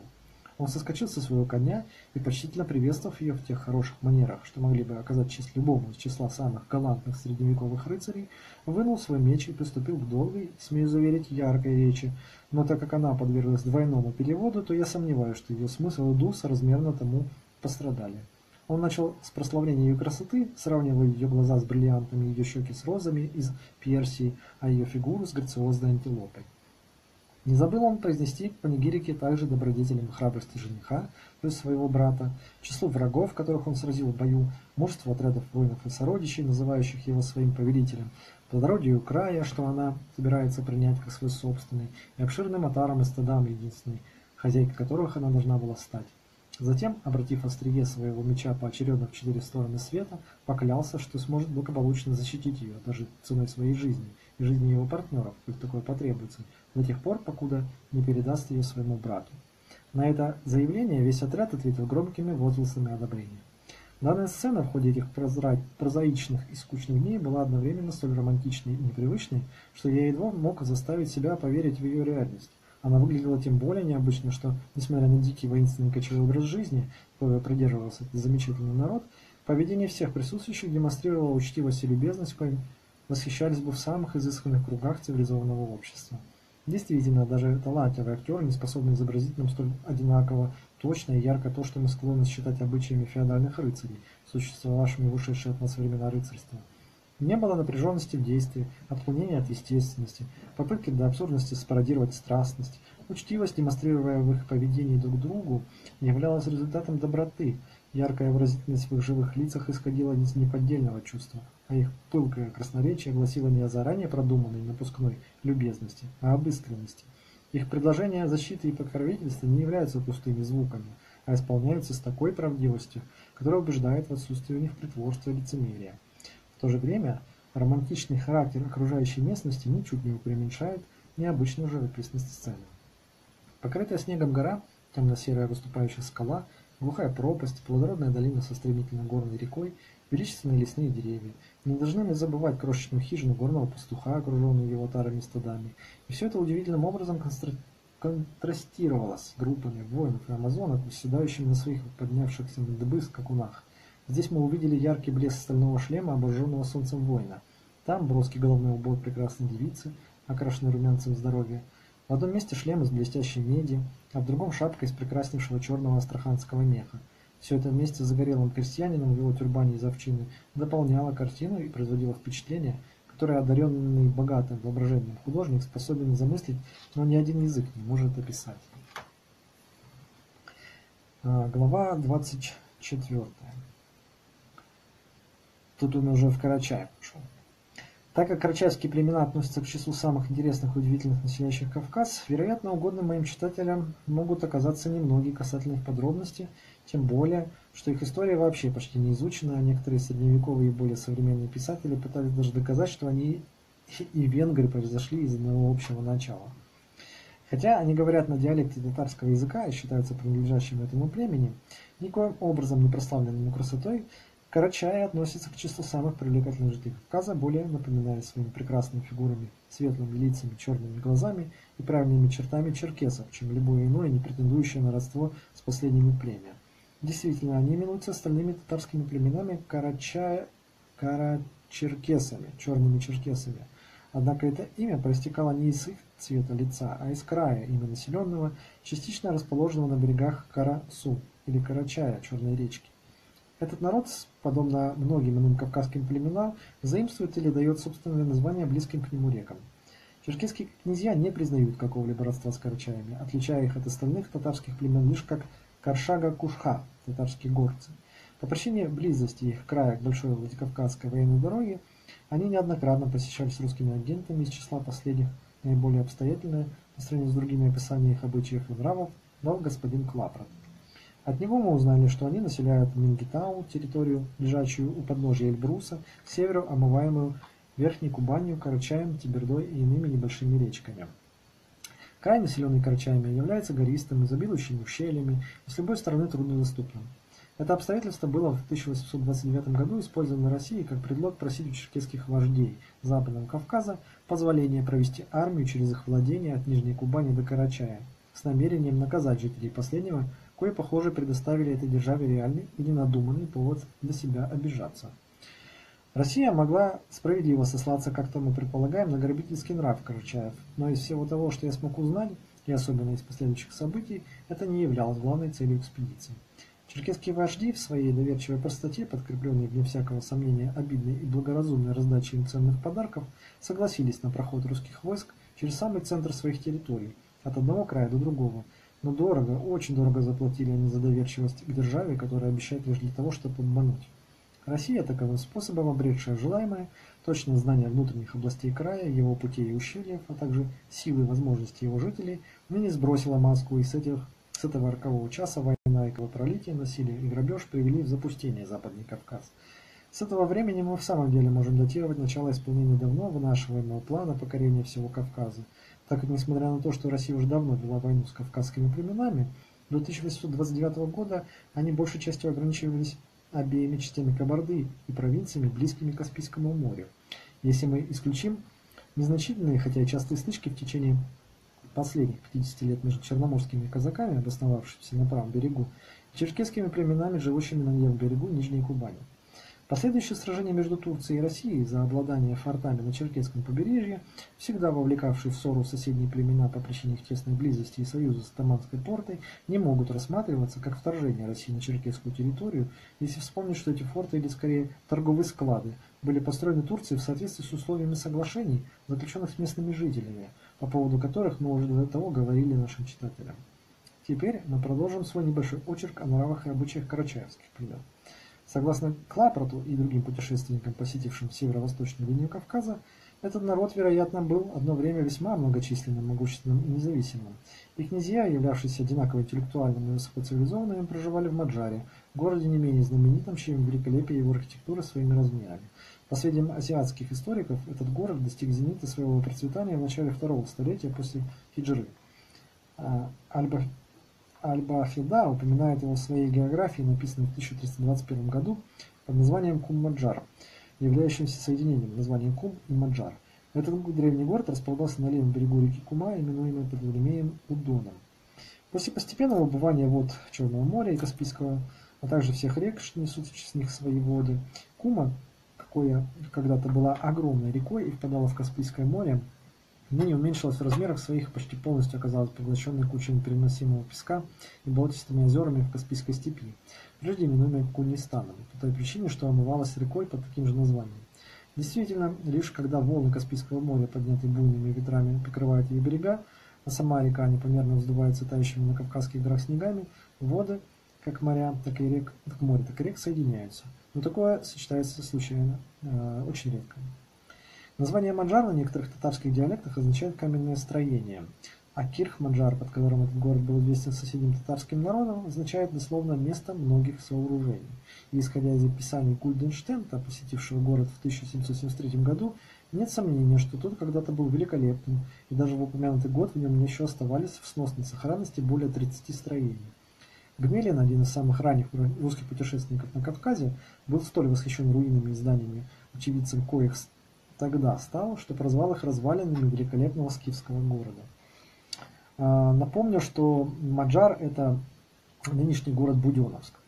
И там в Буденновске зона такая есть э, прибрежная, ну, на берегу реки Кумы, которая сейчас просто, ну, просто поле, да. А, и там почти не осталось следов этого города Манжар, потому что их э, местные жители, когда там только поселились, они растаскали на кирпичи для своих фундаментов. Там и старые рисунки, где оставались еще видны мечети 13-14 века. Но из-за беспечности, проявленной русским правительством к их сохранению, решимости уничтожить все следы древности в своих владениях и установившегося порядка, на который я до того ссылался, путешествуя в Крыму и других местах, этот город полностью исчез с лица земли. Даже немец фон Клапрат, будучи русским агентом и следовательно осторожней в своих выражениях, став свидетелем этого бессмысленного уничтожения объекта столь большого любопытства для всякого любителя древности и ценного для всякого историка объекта, являвшегося не более чем остатками древнего города на Кавказе, не смог удержаться от высказывания своего возмущения. Он приписывает полное разрушение города графу Павлу Потемкину, чей характер использовался дурной славой быть постыдным даже при таком царском дворе, как тот, что принадлежал Екатерине II. Этот русский вандал, будучи губернатором провинции Каспийского моря, приказал снести все тогда оставшиеся сооружения ради строительства города и крепости Екатериноград, хотя окрестные земли полны были прекрасного строительного камня. В результате мы вынуждены искать интересные, обладающие неприходящей исторической ценностью надписи и разные иные важные реликвии древности в стенах нового города и форта, в коих, будучи изуродованными и испорченными, они все еще остаются, дабы сказать нам, что цивилизованные варвары являются наихудшими из всех варваров. Даже расположение древнего города сегодня можно определить с трудом. Если бы не покрытый мозаикой тротуар, цветные плитки и кирпичи, европейские и азиатские монеты, бронзовая домашняя посуда, золотые и серебряные безделушки, указывающие на то, что здесь когда-то жил цивилизованный человек, то можно было бы предположить, что все обширное пространство, на котором располагался Маджар, являлось кладбищем, так как здесь многочисленные фрагменты камней с надписями на них. Действительно, таковым было мнение профессора Павласа, хорошо хорошего ботаника и минералога, но не очень наблюдательного путешественника, сложившееся о Маджаре, когда он посетил его в сбивчивом рассказе и дал нам описание этого воображаемого кладбища. Несомненно, он никогда не изучал каких-либо татарских или восточных летописей, касающихся этой части Кавказа, и не прочитывал вдумчиво какие-либо извечные надписи, что когда-то украшали общественные здания и врата древнего города. В противном случае он никогда бы не пришел к столь абсурдному умозаключению. Может, он преднамеренно представил это описание, или цензор принудил его к тому, дабы скрыть варварский поступок русского губернатора. Если это так, то таковы уж последствия всякого написания и издания под контролем деспотичного правительства. При близком изучении этих руин, говорит Палас, русский агент на Кавказе, от которых едва ли ну, не остался след, можно сделать предположение, что речь идет о знаменитом кладбище. Это было весьма отличным от описания тонкого наблюдателя, как являлся Клапрат, посетивший Маджар во время более либерального царствования умеренного императора Александра. Этот умный путешественник несомненно, подтверждает тот факт, что Маджар был большим татарским городом, был населен богатым цивилизованным народом. Это подтверждает и тот факт, что к нему в руки попали монеты, отчеканенные при правлении татарских монархов, там живших и многообразные сведения, полученные при внимательном прочтении надписей и иных источников – Чему я могу добавить предоставленные мне детали касательно этого интересного города от интеллигентного немецкого офицера, находящегося на русской службе и некоторое время жившего со своим полком в Екатеринограде, непосредственно близости от этих руин. Да, я еще напомню, что Маджар – это, собственно, средневековая э, южная столица Золотой Орды. Э, один из крупнейших золотоордынских городов с населением очень смешанного характера, с местных жителей в основном. Клапрат, описывая потомков древних жителей Маджара, говорит, что они не только напоминают в своем обличии чертах лица черкесов, но и похожи на них своими обычаями и нравами. Они, однако, не столь склонны, как этот народ, к обыкновению грабить соседние племена. Даже слово «кража» редко среди них можно услышать. Они также более трудолюбивы, кормясь главным образом земледелием и доходами от продажи своих изделий, состоящих из одежды шали, войлока для палаток и ковров, накидок, оружейного пороха и разных иных товаров, высоко оценимых на Кавказе. Религиозные догматы э, татар прежде мало отличались от взглядов иных соседних к ним татарских племен. Они поклонялись великому духу под именем Тагрис, а также пророку Илье, коего они называли Небе Илья, и верили, что он часто появляется на вершинах высоких гор, коему они привыкли приносить в качестве жертвоприношений ягнят, молоко, масло, сыр и разные многочисленные плоды, что небо не спаслало им.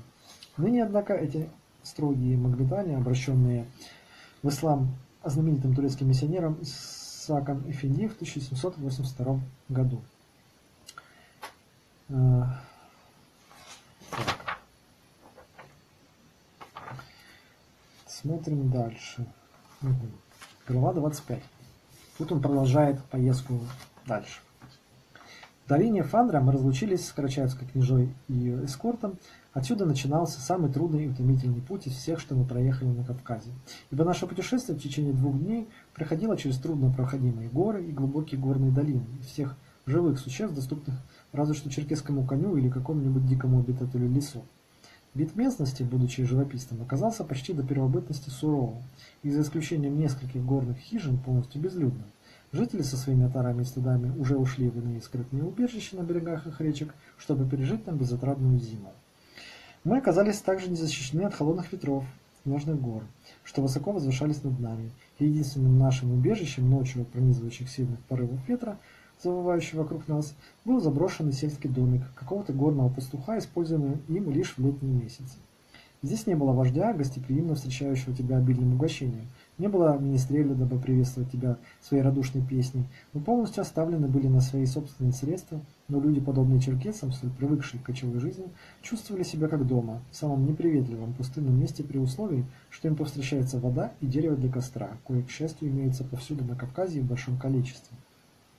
Когда мы сделали ночной привал, первое, что предприняли, это расседлали коней и отвели их в богатое травой место, где они могли бы найти себе подножный корм и воду. Эти люди, будучи настоящими всадниками, всегда дают все необходимое своим коням и потом только заботятся о себе. Затем разводят костер, черпаки расстилают вместо ковра, чтобы сидеть на них. Э, седла используются как подушки. После, развернувшись в просторные чауки, то есть буки, они погружаются в сон, исполнив свои привычные вечерние занятия. Прежде, однако, необходимо приготовить ужин, единственное, в чем эти люди, так сказать, себе не отказывают. Приготовление ужина происходит поочередно, и для него каждый человек жертвует свои припасы продовольствия. В данном случае наша экспедиция через горы сопровождалась несколькими вьючными лошадями, обремененными таким количеством провизии, какое могло бы понадобиться независимо от дичи, предоставленной нам во время поездки с помощью наших оружий. Покуда стряпается ужин, обычно состоящий из горячих ячменных лепешек, вкусной чик-клихи из рубленой баранины, риса и так далее, блюдо, напоминающее плов. В качестве дополнения к курительной трубке прежде приготавливается чашка кофе. Продукты ныне достаточно редкого на Кавказе. За ними следует мед и сушеные фрукты вместо десерта, вкрутую сваренные яйца и, наконец, освежающий шху, дабы утолить жажду. Будь у них только это, а кавказский горец больше и не требует. Едва ли какой-нибудь европеец склонен был бы презирать их, так как местная баранина превосходит всякую иную в пряности вкуса, а если ружье стреливает жирного козла, фазана или куропаток, восточная рагу, смеем утверждать, является не самым худшим к тому дополнением. Превосходны также и другие продукты, а их приготовление вполне соответствует нашему вкусу. Я обязан не забыть упомянуть, что этот бдительный народ никогда не продается сну или отдыху, не выставив часового. Предусмотрительность являющаяся необходимой не только из-за беспокойной обстановки в крае, но и из-за многочисленных диких животных, что обитают в лесах, и никто не уделяет большего внимания, чем они, своему оружию для защиты. Его, каковы бы ни были обстоятельства, в коих оказался Черкес, он регулярно каждую ночь чистит, и мы можем утверждать, что ни в одном арсенале мы не обнаружим оружия в большей исправности. Это, конечно, является частью, частью вечерних забот, когда он останавливается на ночлег. Ружья и пистолеты после того заряжаются и вместе с саблей помещаются у подушки, но он никогда не расстается с спящим или бодрствующим с кинжалом. Завершив свои привычные занятия, он возносит краткую молитву Богу и затем предается сну. Полагая, что ночь прошла, а необходимые приготовления исполнены заранее, мы вновь тронулись в путь. Сперва мы обогнули основание огромной отвесной скалы, увенчанной шапкой снега, что, казалось, готово было придавить нас в любой момент а затем какую-то тихую чистую речку, вьющуюся вокруг подножия горы по огромной излучине, обогащающей земли, по которым протекала.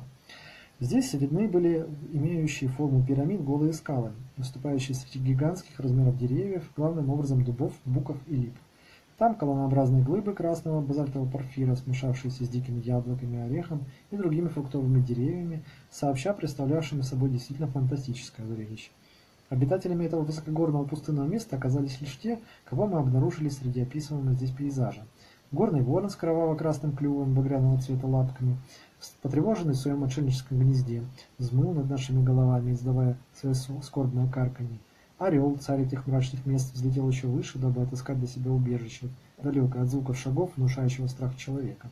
И гигантский ястреб, севшийся, ничего не опасаясь, на вершине высокой скалы, наго взирал на то, как мы шли мимо него. В это время до нашего слуха из густых лесов, нас окружавших, долетали рычание медведя, пронзительные крики шакала и завывание волка. Серные дикие козы прыгали с вершины на вершину, чья высота была столь высока, что эти животные выглядели подобно многочисленным белкам.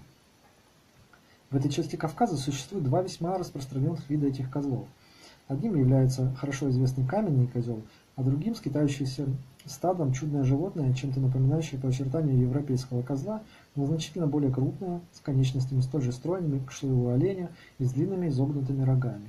Их мясо не столь ценимо горцами, как их шкуры, кое из-за прекрасной длинной шерсти всегда употребляются некоторыми племенами в качестве ковриков, когда они молятся на коленях, будучи связаны с уверием, что их молитвы при этом скорее дойдут до Великого Духа. Все наши попытки подстрелить этих осторожных животных оказались тщетными – Самый незначительный шорох, издаваемый нашими конями во время преодоления зарослей, даже когда мы оставались от них на большом расстоянии, оказывался достаточным, чтобы все их стадо устремилось на вершину какого-нибудь недоступного утиуса. Отсюда черкесы знают, что из всех диких животных в горах обитающих труднее всего изловить этих горных козлов, так как в дополнение к остроте их зрения и слуха у них, вероятно, не принадлежащее никаким иным животным и обоняние. Это как они никогда не щиплют траву и не спят, не повернув свои морды к ветру, они способны различить врага даже на большом от себя расстоянии. Эти интересные животные, прозванные местными жителями турами, а черкесами чинцвамы, образуют между собой сообщество, демонстрирующее совершенно удивительную разумность взаимоотношений. Так, к примеру, щипля траву, они выставляют часовых, чья бдительность обеспечивает безопасность их собратьям, извещая о приближении опасности. Во время их прогулок они всегда следуют за вожаком, отличающимся как своей храбростью, так и своими большими размерами, и таковой является их вера в его проницательность, то, что прыгнем в пропасть, все его спутники, не колеблясь, делают то же самое, действительно случается, что, будучи загнанными охотником или преследуемыми дикими животными, вынуждающими их совершать стра страшные прыжки, молодые и слабые, не способные повторить это, становятся жертвами безрассудной смелости их вожака. Цвет, цвет их очень тонкой шерсти не является постоянно одинаковым, хотя разновидность серо-белого или скорее каменистого цвета преобладает. Кроме этих животных, горцы рассказали мне, что в соседних горах, где расположены истоки Карасу, Черекьяны, Тиберды, Риона, Кубани, Ингурии, Чинесцкали, гипусы древних авторов и других кавказских рек, встречается дикий баран меньших размеров и более проворный, чем его домашняя порода.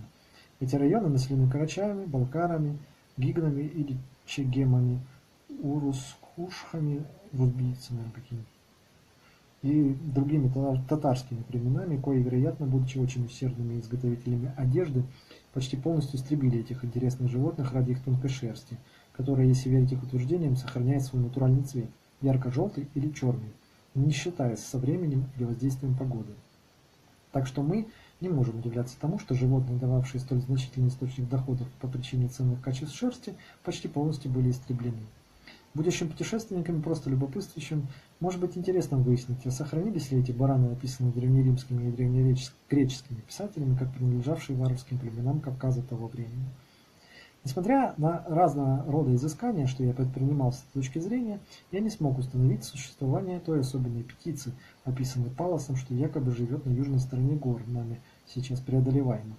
Следуя ее описанию, она является разновидностью фазана, но значительно более крупной, прозванной карачаями и балкарскими татарами чумуруком, с пятью коготками на каждой лапке и красиво разукрашенным оперением. Говорят, что она часто встречается в любимых турами местах, так как служит им своим своеобразным свистом в качестве стражи. Этот свист предупреждает туров о приближении жестких охотников, жестоких охотников. Коли эта птица, следуя сообщениям, наделена такой необычной силой, остается сожалеть, что природа не назначила ей роль попечительницы робкой интересной породы баранов, нами только что описано. Я не могу удержаться от упоминания об одном интересном стечении обстоятельств касательно племени Урус-Кушха, о котором я выше уже говорил. Похоже, что имя, под которым они известны, то же, что они употребляют по отношению к русским – Урус. Говорят, что они похожи на древнерусских крестьян, в частности, имея, как они, рыжие бороды и светлые волосы, и относятся к самым древним жителям Кавказа. Но является ли их язык диалектом разговорного языка московитов, утверждать я не могу. Не способен я объяснить их родство с татарами, хотя мы должны предположить, следуя их имени, что они имеют татарское происхождение. Ну, какой-то вот, какая-то легенда прям. Кроме него нигде не встречал. Глава 26. Всего у нас сейчас смотрим. А, ну, две главы осталось. Глава 26. Мы продолжили наше путешествие по местности, напоминавшей ту, что я только что описывал, покуда наконец не достигли Чумантау, одной из самых высоких гор, связанных с горной цепью Эльбруса. Но из-за снега, уже покрывавшего вершину, мы вынуждены были отклониться от проторенного пути и по... обойти Чумантау с восточной стороны, ибо даже мои отважные собратья-путешественники не считали разумным пытаться совершать восхождение в такое время года. Какой же вид открылся нашему взору, когда мы достигли самой высокой для нас точки, а прекрасная погода, которая благоприятствовала нам в последние 10 дней, позволила сполна насладиться им. С одной стороны лежит Черное море, гладкий, сверкающий, как стеклянная поверхность, берег, равнины Мингрелии, покрытые нескончаемыми лесами, и высокие холмы Эмеретии, кои из огромной высоты, что мы достигли, выглядели подобно столь многочисленным здесь маловым глыбам. С другой, возвышаясь, кроме великолепного Эльбруса с его двойным пиком, который, будучи значительно выше всего, как бы господствовал над всей цепью гор, скалистые вершины четырех или пяти иных прекрасных гор – вместе с многочисленными вершинами, по которым мы путешествовали последние несколько дней, постепенно спускаясь к Черному морю. Здесь мы где-то на час разбили стоянку, дабы дать отдых нашим утомленным лошадям и приготовить обед, что позволило мне исследовать красивые растения и цветы, покрывавшие эту благодатную землю, так как, несмотря на высокогорье, мы видим богатую растительность, соседствующую с многочисленными снегами.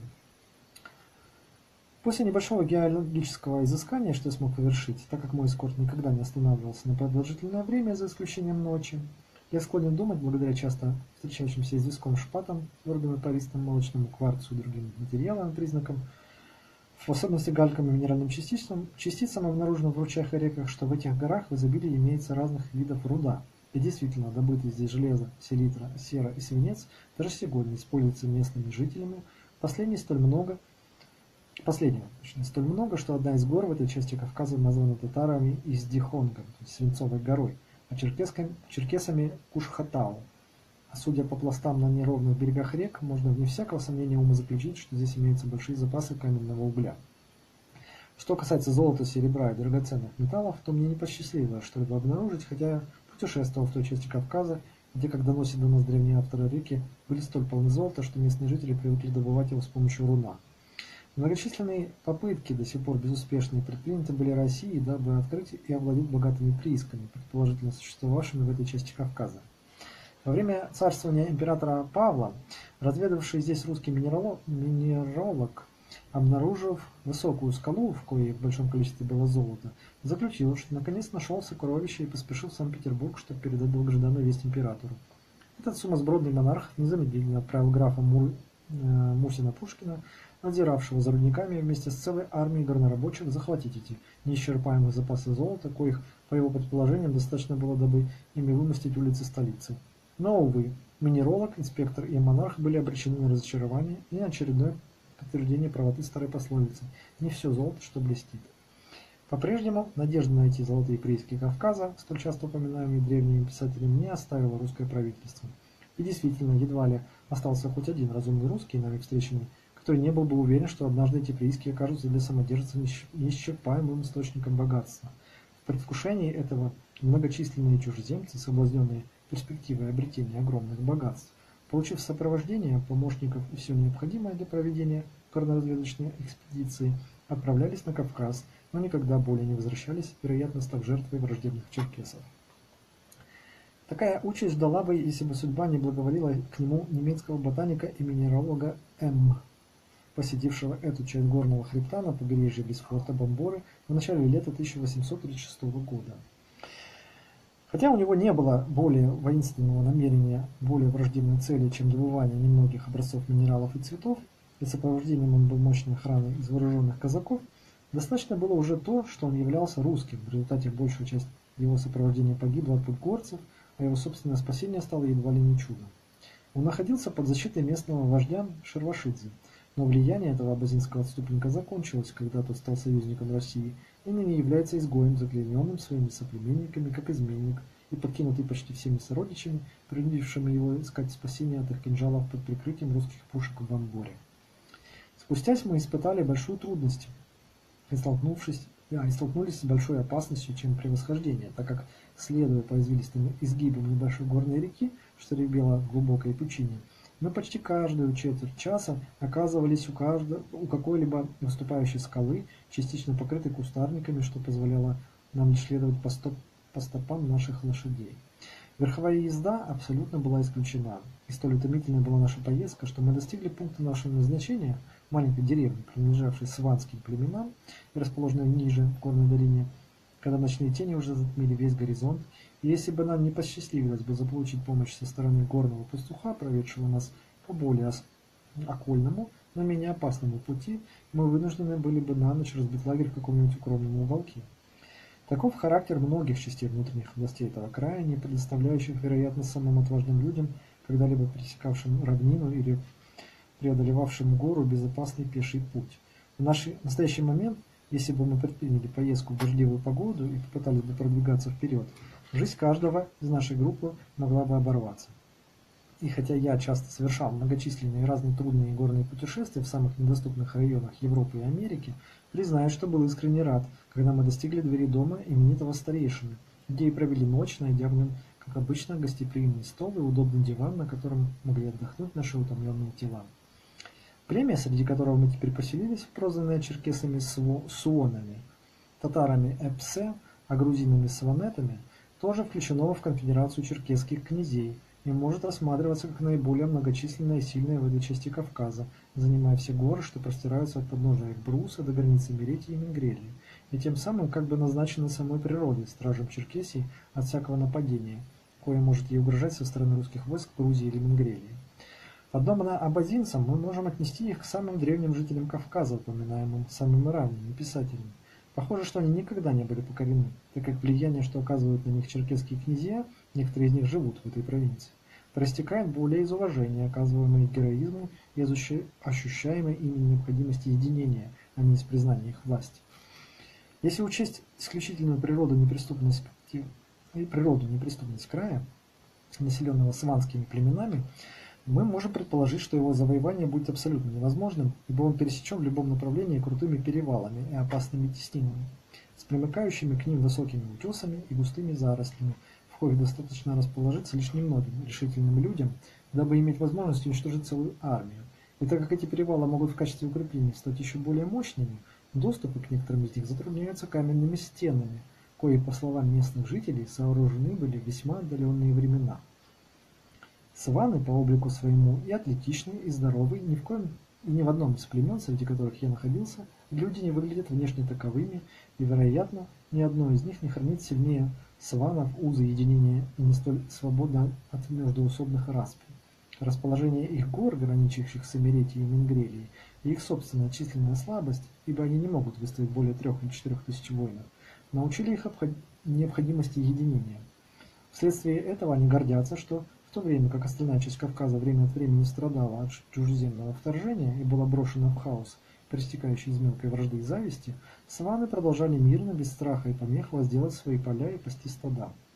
Между Чумантау, что мы только что преодолели, и Эльбрусом с его цепи высоких гор, лежит большое ущелье, что связывает Менгрелию и Меретию с остальной частью Западного Кавказа аж до самой Кубани.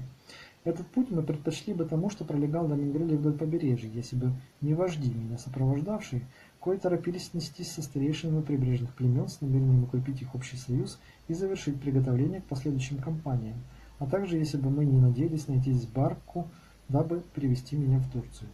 Говорят, что доступ в это ущелье был когда-то укреплен и защищен железными вратами, от которых протянулась стена длиной в 60 лье предположительно отстроенную Мирваном, царем Грузии, правившим этими землями за столетия до христианской эры. Но представляется, что сегодня не видно и следа от этой стены, и так как вся территория на границах Мегреда и Меретии густо покрыта очень высокими зарослями, будущий поиск какого-либо любителя древности, возможно, позволит обнаружить признаки ее существования. Более того, некоторые ученые, турки и персы сообщают нам, что доступ в эту долину располагается там, где его описал еще Плиний и где были сооружены знаменитые Кавказские врата – столь прославленные античными авторами. Этот знаменитый историк пишет, что в землях дедуров и содов, грейтосванов, находятся Кавказские врата, изумительное творение природы, представляющее собой скалы гигантской высоты, связанные друг с другом железными вратами, под которыми течет Дириодорис. На одной стороне этих массивных врат стоит, взгромодившись на утесе, замок, прозванный Куманией, столь сильно укрепленный, что способен устоять перед лицом наступления многочисленной армии. Рейнекс, один из самых ранних путешеств... русских путешественников на Кавказе, утверждает, что это ущелье действительно является тем, что упоминает Плиний, но в то время как иные путешественники и многие рецензенты иногда соглашаются, по крайней мере, когда речь идет о предположении. Клаппорт решительно отвергает эту гипотезу и доказывает, что его ущелье, образуемое череком, абсолютно не соответствует тому, что описал Плиний, ибо оно полностью пересекает всю северную часть Кавказа до Дарьяла, что на границе с Грузией, где, говорит он, все еще видны руины древнего замка Дарьял, который, по его мнению, является Кумани, упомянутой античными авторами. Не высказывая совершенно ясного мнения, Клапрак, по всей вероятности, в своем предположении оказывается прав, так как ущелье им упоминаемое соответствует в большем числе своих очертаний тому, что описывают древние авторы, чем ущелье, упомянутое Ренексом. Все еще существуют огромные блоки, происхождение которых Клапрат объяснить так и не смог. Какое сходство может существовать между словами Черек и Дидиодорис? Особенно учитывая тот факт, что названия больших рек редко столь полно изменяются, чтобы не оставлять никаких следов своего первоначального имени на каком-нибудь языке. Но когда мы касаемся жителей Кавказа, людей столь непостоянных в своем местожительстве, столь привыкших кочевать с места на место и называть свои села, реки и так далее именами иных оплакиваемых ими воинов, то мы можем вполне предположить, что название Дириадорис было изменено на Черек, имя какого-то победоносного вождя. Рейнекс, говоря о своем ущелье, утверждает, должно быть очевидным каждому путешественнику, что порта Кумана на южной стороне была прорублена человеческими руками, и что эта огромная долина сформировалась благодаря работам рудокопов, и, вероятно, богатые галереи и шахты лишь забиты землей, дабы не быть обнаруженными. По его мнению, именно из этого ущелья древние снабжались высокого качества золотом. Кстати, ну, тут он еще указывает, что древняя крепость на пути в Грузию – это интересный памятник античности, был полностью разрушен русскими во время строительства большой Владикавказской военной дороги. Так как, продолжает он, если верить античным описаниям, драгоценного металла в этой долине было в таком изобилии, в столь хорошем количестве большом, столь легко добываемого, что хватало немногих людей, чтобы заполучить упомянутое количество золота и серебра. Русские поиски малейших следов этих необычных приисков до сих пор остались безуспешными, но то, что золото существует в горах, мы можем, как я думаю, предположить, исходя из того факта, что этот ценный металл часто встречается в ручьях и реках после больших дождей, и сваны до сих пор используют для его добывания овчину. И последняя глава, глава 27. Вдобавок к интересу, связанному с горами, нами ныне рассматриваемыми как те, что описывают античные авторы – как изобилующие драгоценными металлами, мы склонны считать, исходя из преданий черкесов, что они также были когда-то местом обитания амазонок. Ну, любимая тема. И действительно, мнение о том, что племя воинственных женщин проживало где-то на Кавказе, выглядит весьма распространенным среди соседних народов аж до начала 17 столетия. Ибо Ламберти, монах, коему посчастливилось в это время побывать в Менгреле, утверждает, «Сейчас я нахожусь в Менгреле, Местный князь получил тревожное известие, что многочисленные отряды воинов в полном вооружении и хорошо снабженные всем военным имуществом вышли из внутренних областей Кавказа и теперь придают огню мечу земли московитов и горные районы Сванов и Карачаев, что граничит с его собственными территориями. После долгой отчаянной борьбы с горцами эти искатели приключений были отброшены, многие убитые из их числа оказались молодыми женщинами. Образцы вооружения, будучи представлены Дадиану, оказались при осмотре необычайно великолепными, состояли из шлемов, лат, набедренников и латных рукавиц, сделанных с превосходной вороненой стали, и столь изобретательно произведены, что совершенно податливы были каждой части тела. Латы, достигавшие талии, подбиты были ярко-красным шерстяным материалом. Как правило, не менее восхитительными были их высокие ботинки со шнуровкой, украшенные запонками сияющей желтой меди, и даже их стрелы были сделаны весьма старательно и изобретательно, будучи длиной в целых четыре пяди, золочеными, зазубренными, с прекрасной вороненой стали. Таково описание сеньора Ламберти, но весьма вероятно все же, что эти изысканно экипированные амазонки в действительности являлись женами и дочерьми черкесских рыцарей, кое в то время в чрезвычайных обстоятельствах сопровождали мужчин к полям сражений.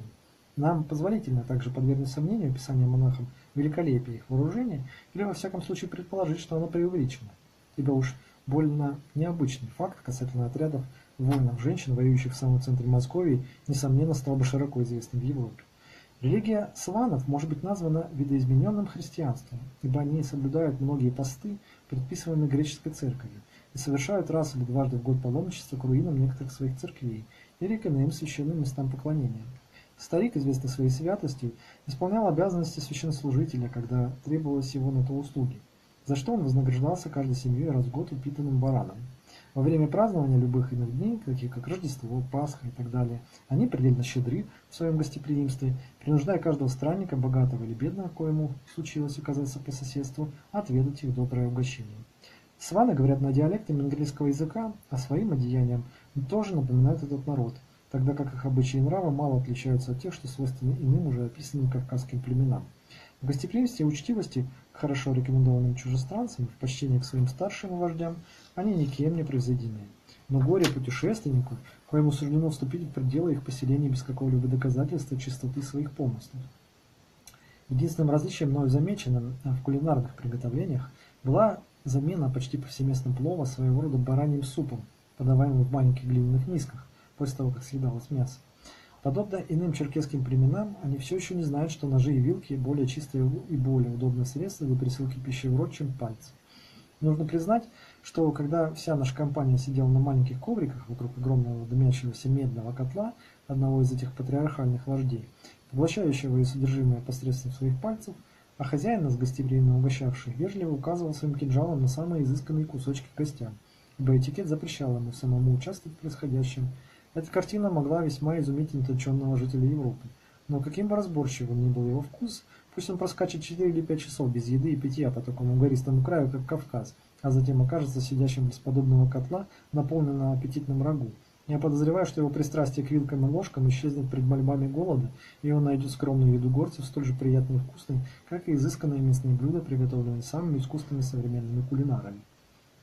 Вместо вина и бузы, что столь привычно нам предлагалось в домах иных племен, где мы гостили, здесь впервые мы вдоволь угостились отнюдь не самым плохим пивом. Я не могу не отметить, что менгрелы, несмотря на то, что легко могут достать соль у своих соседей, предпочитают в качестве заменителя кислое молоко, которое как бы более содействует их здоровью.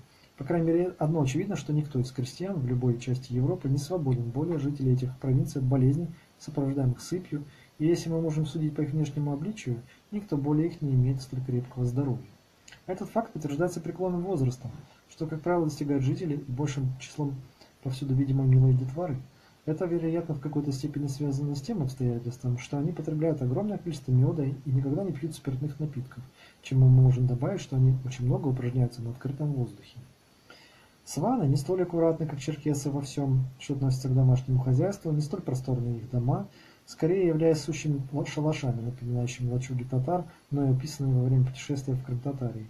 Кровли, как правило, достигают уровня земли, а само небольшое жилище лежит спрятанным в склоне горы, на берегах какой-нибудь речки или близ какого-нибудь родника. Вожди и старейшины сванов, будучи связанными с черкесами семейными узами, находятся в самых дружеских с ними отношениях и в целом со всеми своими соседями, взирающими на их горы, как на спасительное убежище в случае изгнания со своей территории захватчиками. Законах, обычаях и нравах они абсолютно патриархальны, живя под юрисдикцией тех старейшин, чья мудрость и авторитет дают им право на такое к ним почтительное отношение. Долины и склоны гор, заселенные сванами, покрыты густыми лесными участками с большими деревьями красивого красного тахус, что это, дуба и самых гигантских размерах липы. Здесь я обнаружил, что кора этого весьма полезного дерева, липы, имеет огромный спрос, так как люди производят из нее летние палатки, абсолютно непроницаемые для дождя. В этих благодатных местах в большом количестве имеются очень высокие ореховые деревья. Здесь также необычайно буйно произрастают виноградные лозы и всякого рода фруктовые деревья. Система земледелия, избранная этими людьми, мало отличается от той, что и у других прежде описанных горцев. Очень схожи их отары и стада. Их леса, однако, будучи более недоступными и дикими, изобилуют огромным количеством разной дичи. Здесь встречаются такие животные, как медведь, волк, рысь и дикая кошка. В их селах также знакомы с леопардами, которые наводняют части Меретии и Грузии. У нас мало сведений, что могли бы быть употреблены для выяснения происхождения этого народа. Суоны на черкесском языке означают «жители высоких гор». Они известны в России под именем сванов и как самые отъявленные грабители, вторгающиеся на ее территорию. Из-за недоступности природы края русские войска никогда не были способны подвергнуть их за то наказанию. По всей вероятности, они принадлежали лазам, известным тем, что являются описанными еще Прокопием и другими античными писателями э, холхианами – когда-то создавшим могущественное государство, чьи территории простирались от Плазистана, Трабзона через Гурию, Венгрелию, Меретию и Грузию, по Древней Иберии. Диалекты языка последнего края остаются еще разговорными во, все, во всех этих провинциях. А так как суоны говорят на том же диалекте, и напоминают в чертах лиц своих лазов, они, вероятнее всего, являются одним и тем же народом. Среди иных больших племен Кавказа, к северу и северо-востоку от Сванов, враждебных русскому управлению и продолжающих нападать на военную Владикавказскую дорогу, мы можем назвать ингушей и им родственные племена тушинцев и чеченцев, вместе с самым большим из них осетинов. Последние не столь жестоки в своей враждебности и скорее даже дружелюбны к своим русским соседям. К югу от них и близ Грузии живут гуднамакары, хевсуры, пшавы и другие. Они никогда не подчинялись России и постоянно сносятся с черкесскими князьями и оказывают разнообразную ценную помощь. И именно с целью организации встречи с вождями этих племен мой кунак и его спутники теперь туда и едут.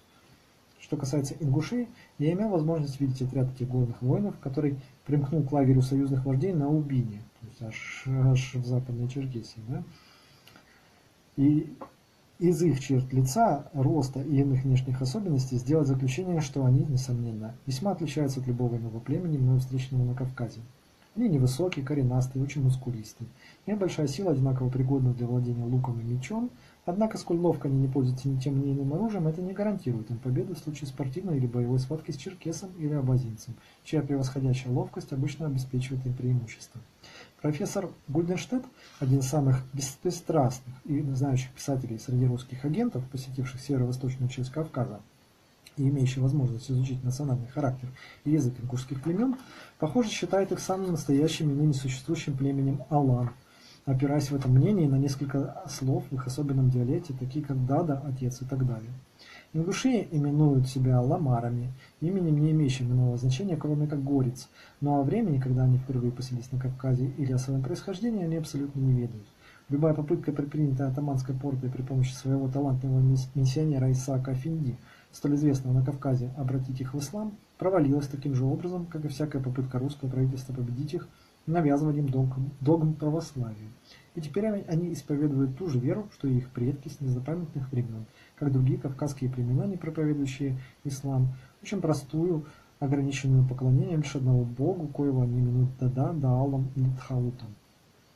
Воскресенье они считают так же, как христиане, днем отдыха, но богослужение не проводится, этот день обычно приходит в развлечения.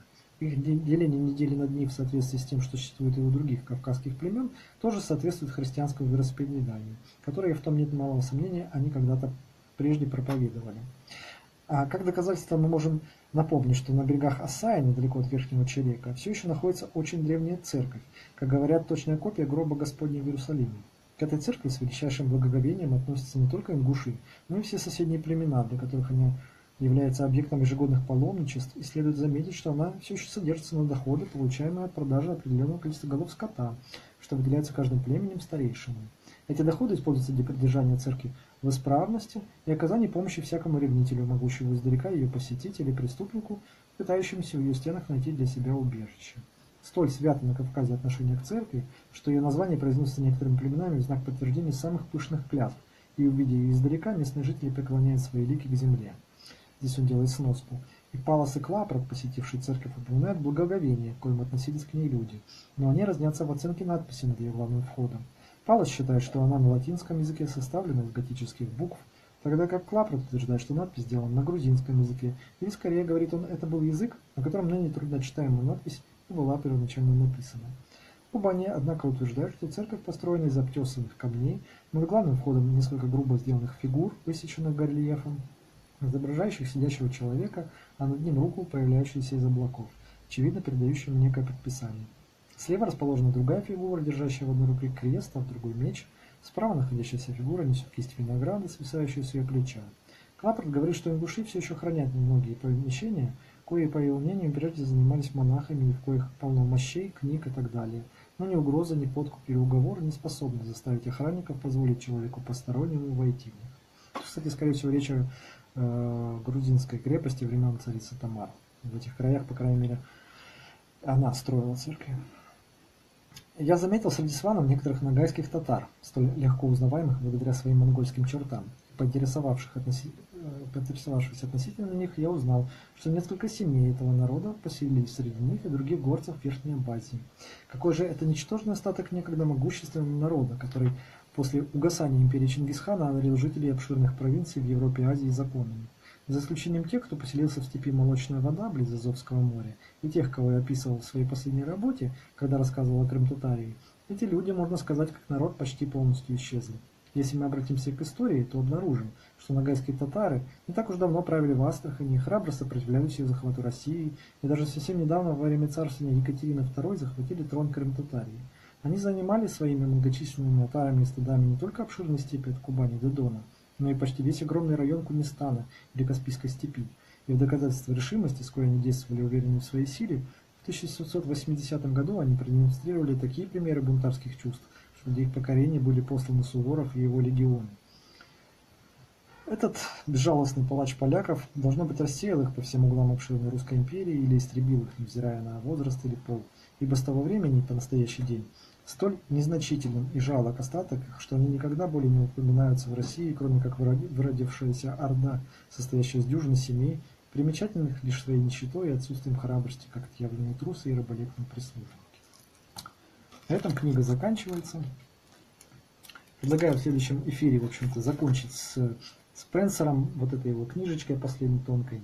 Это первая книга, где как бы предисловие, его первое путешествие короткое, чтобы как бы дополнить вот эту картину э, его впечатлений о побережье. Тут как раз про побережье будет. И вот в следующем эфире мы закончим со Спенсером. Перейдем к чему-то более короткому, быстрому, интересному, разнообразному. Ну, возможно, я почитаю Хангеревич. Ну, обсудим в следующем эфире.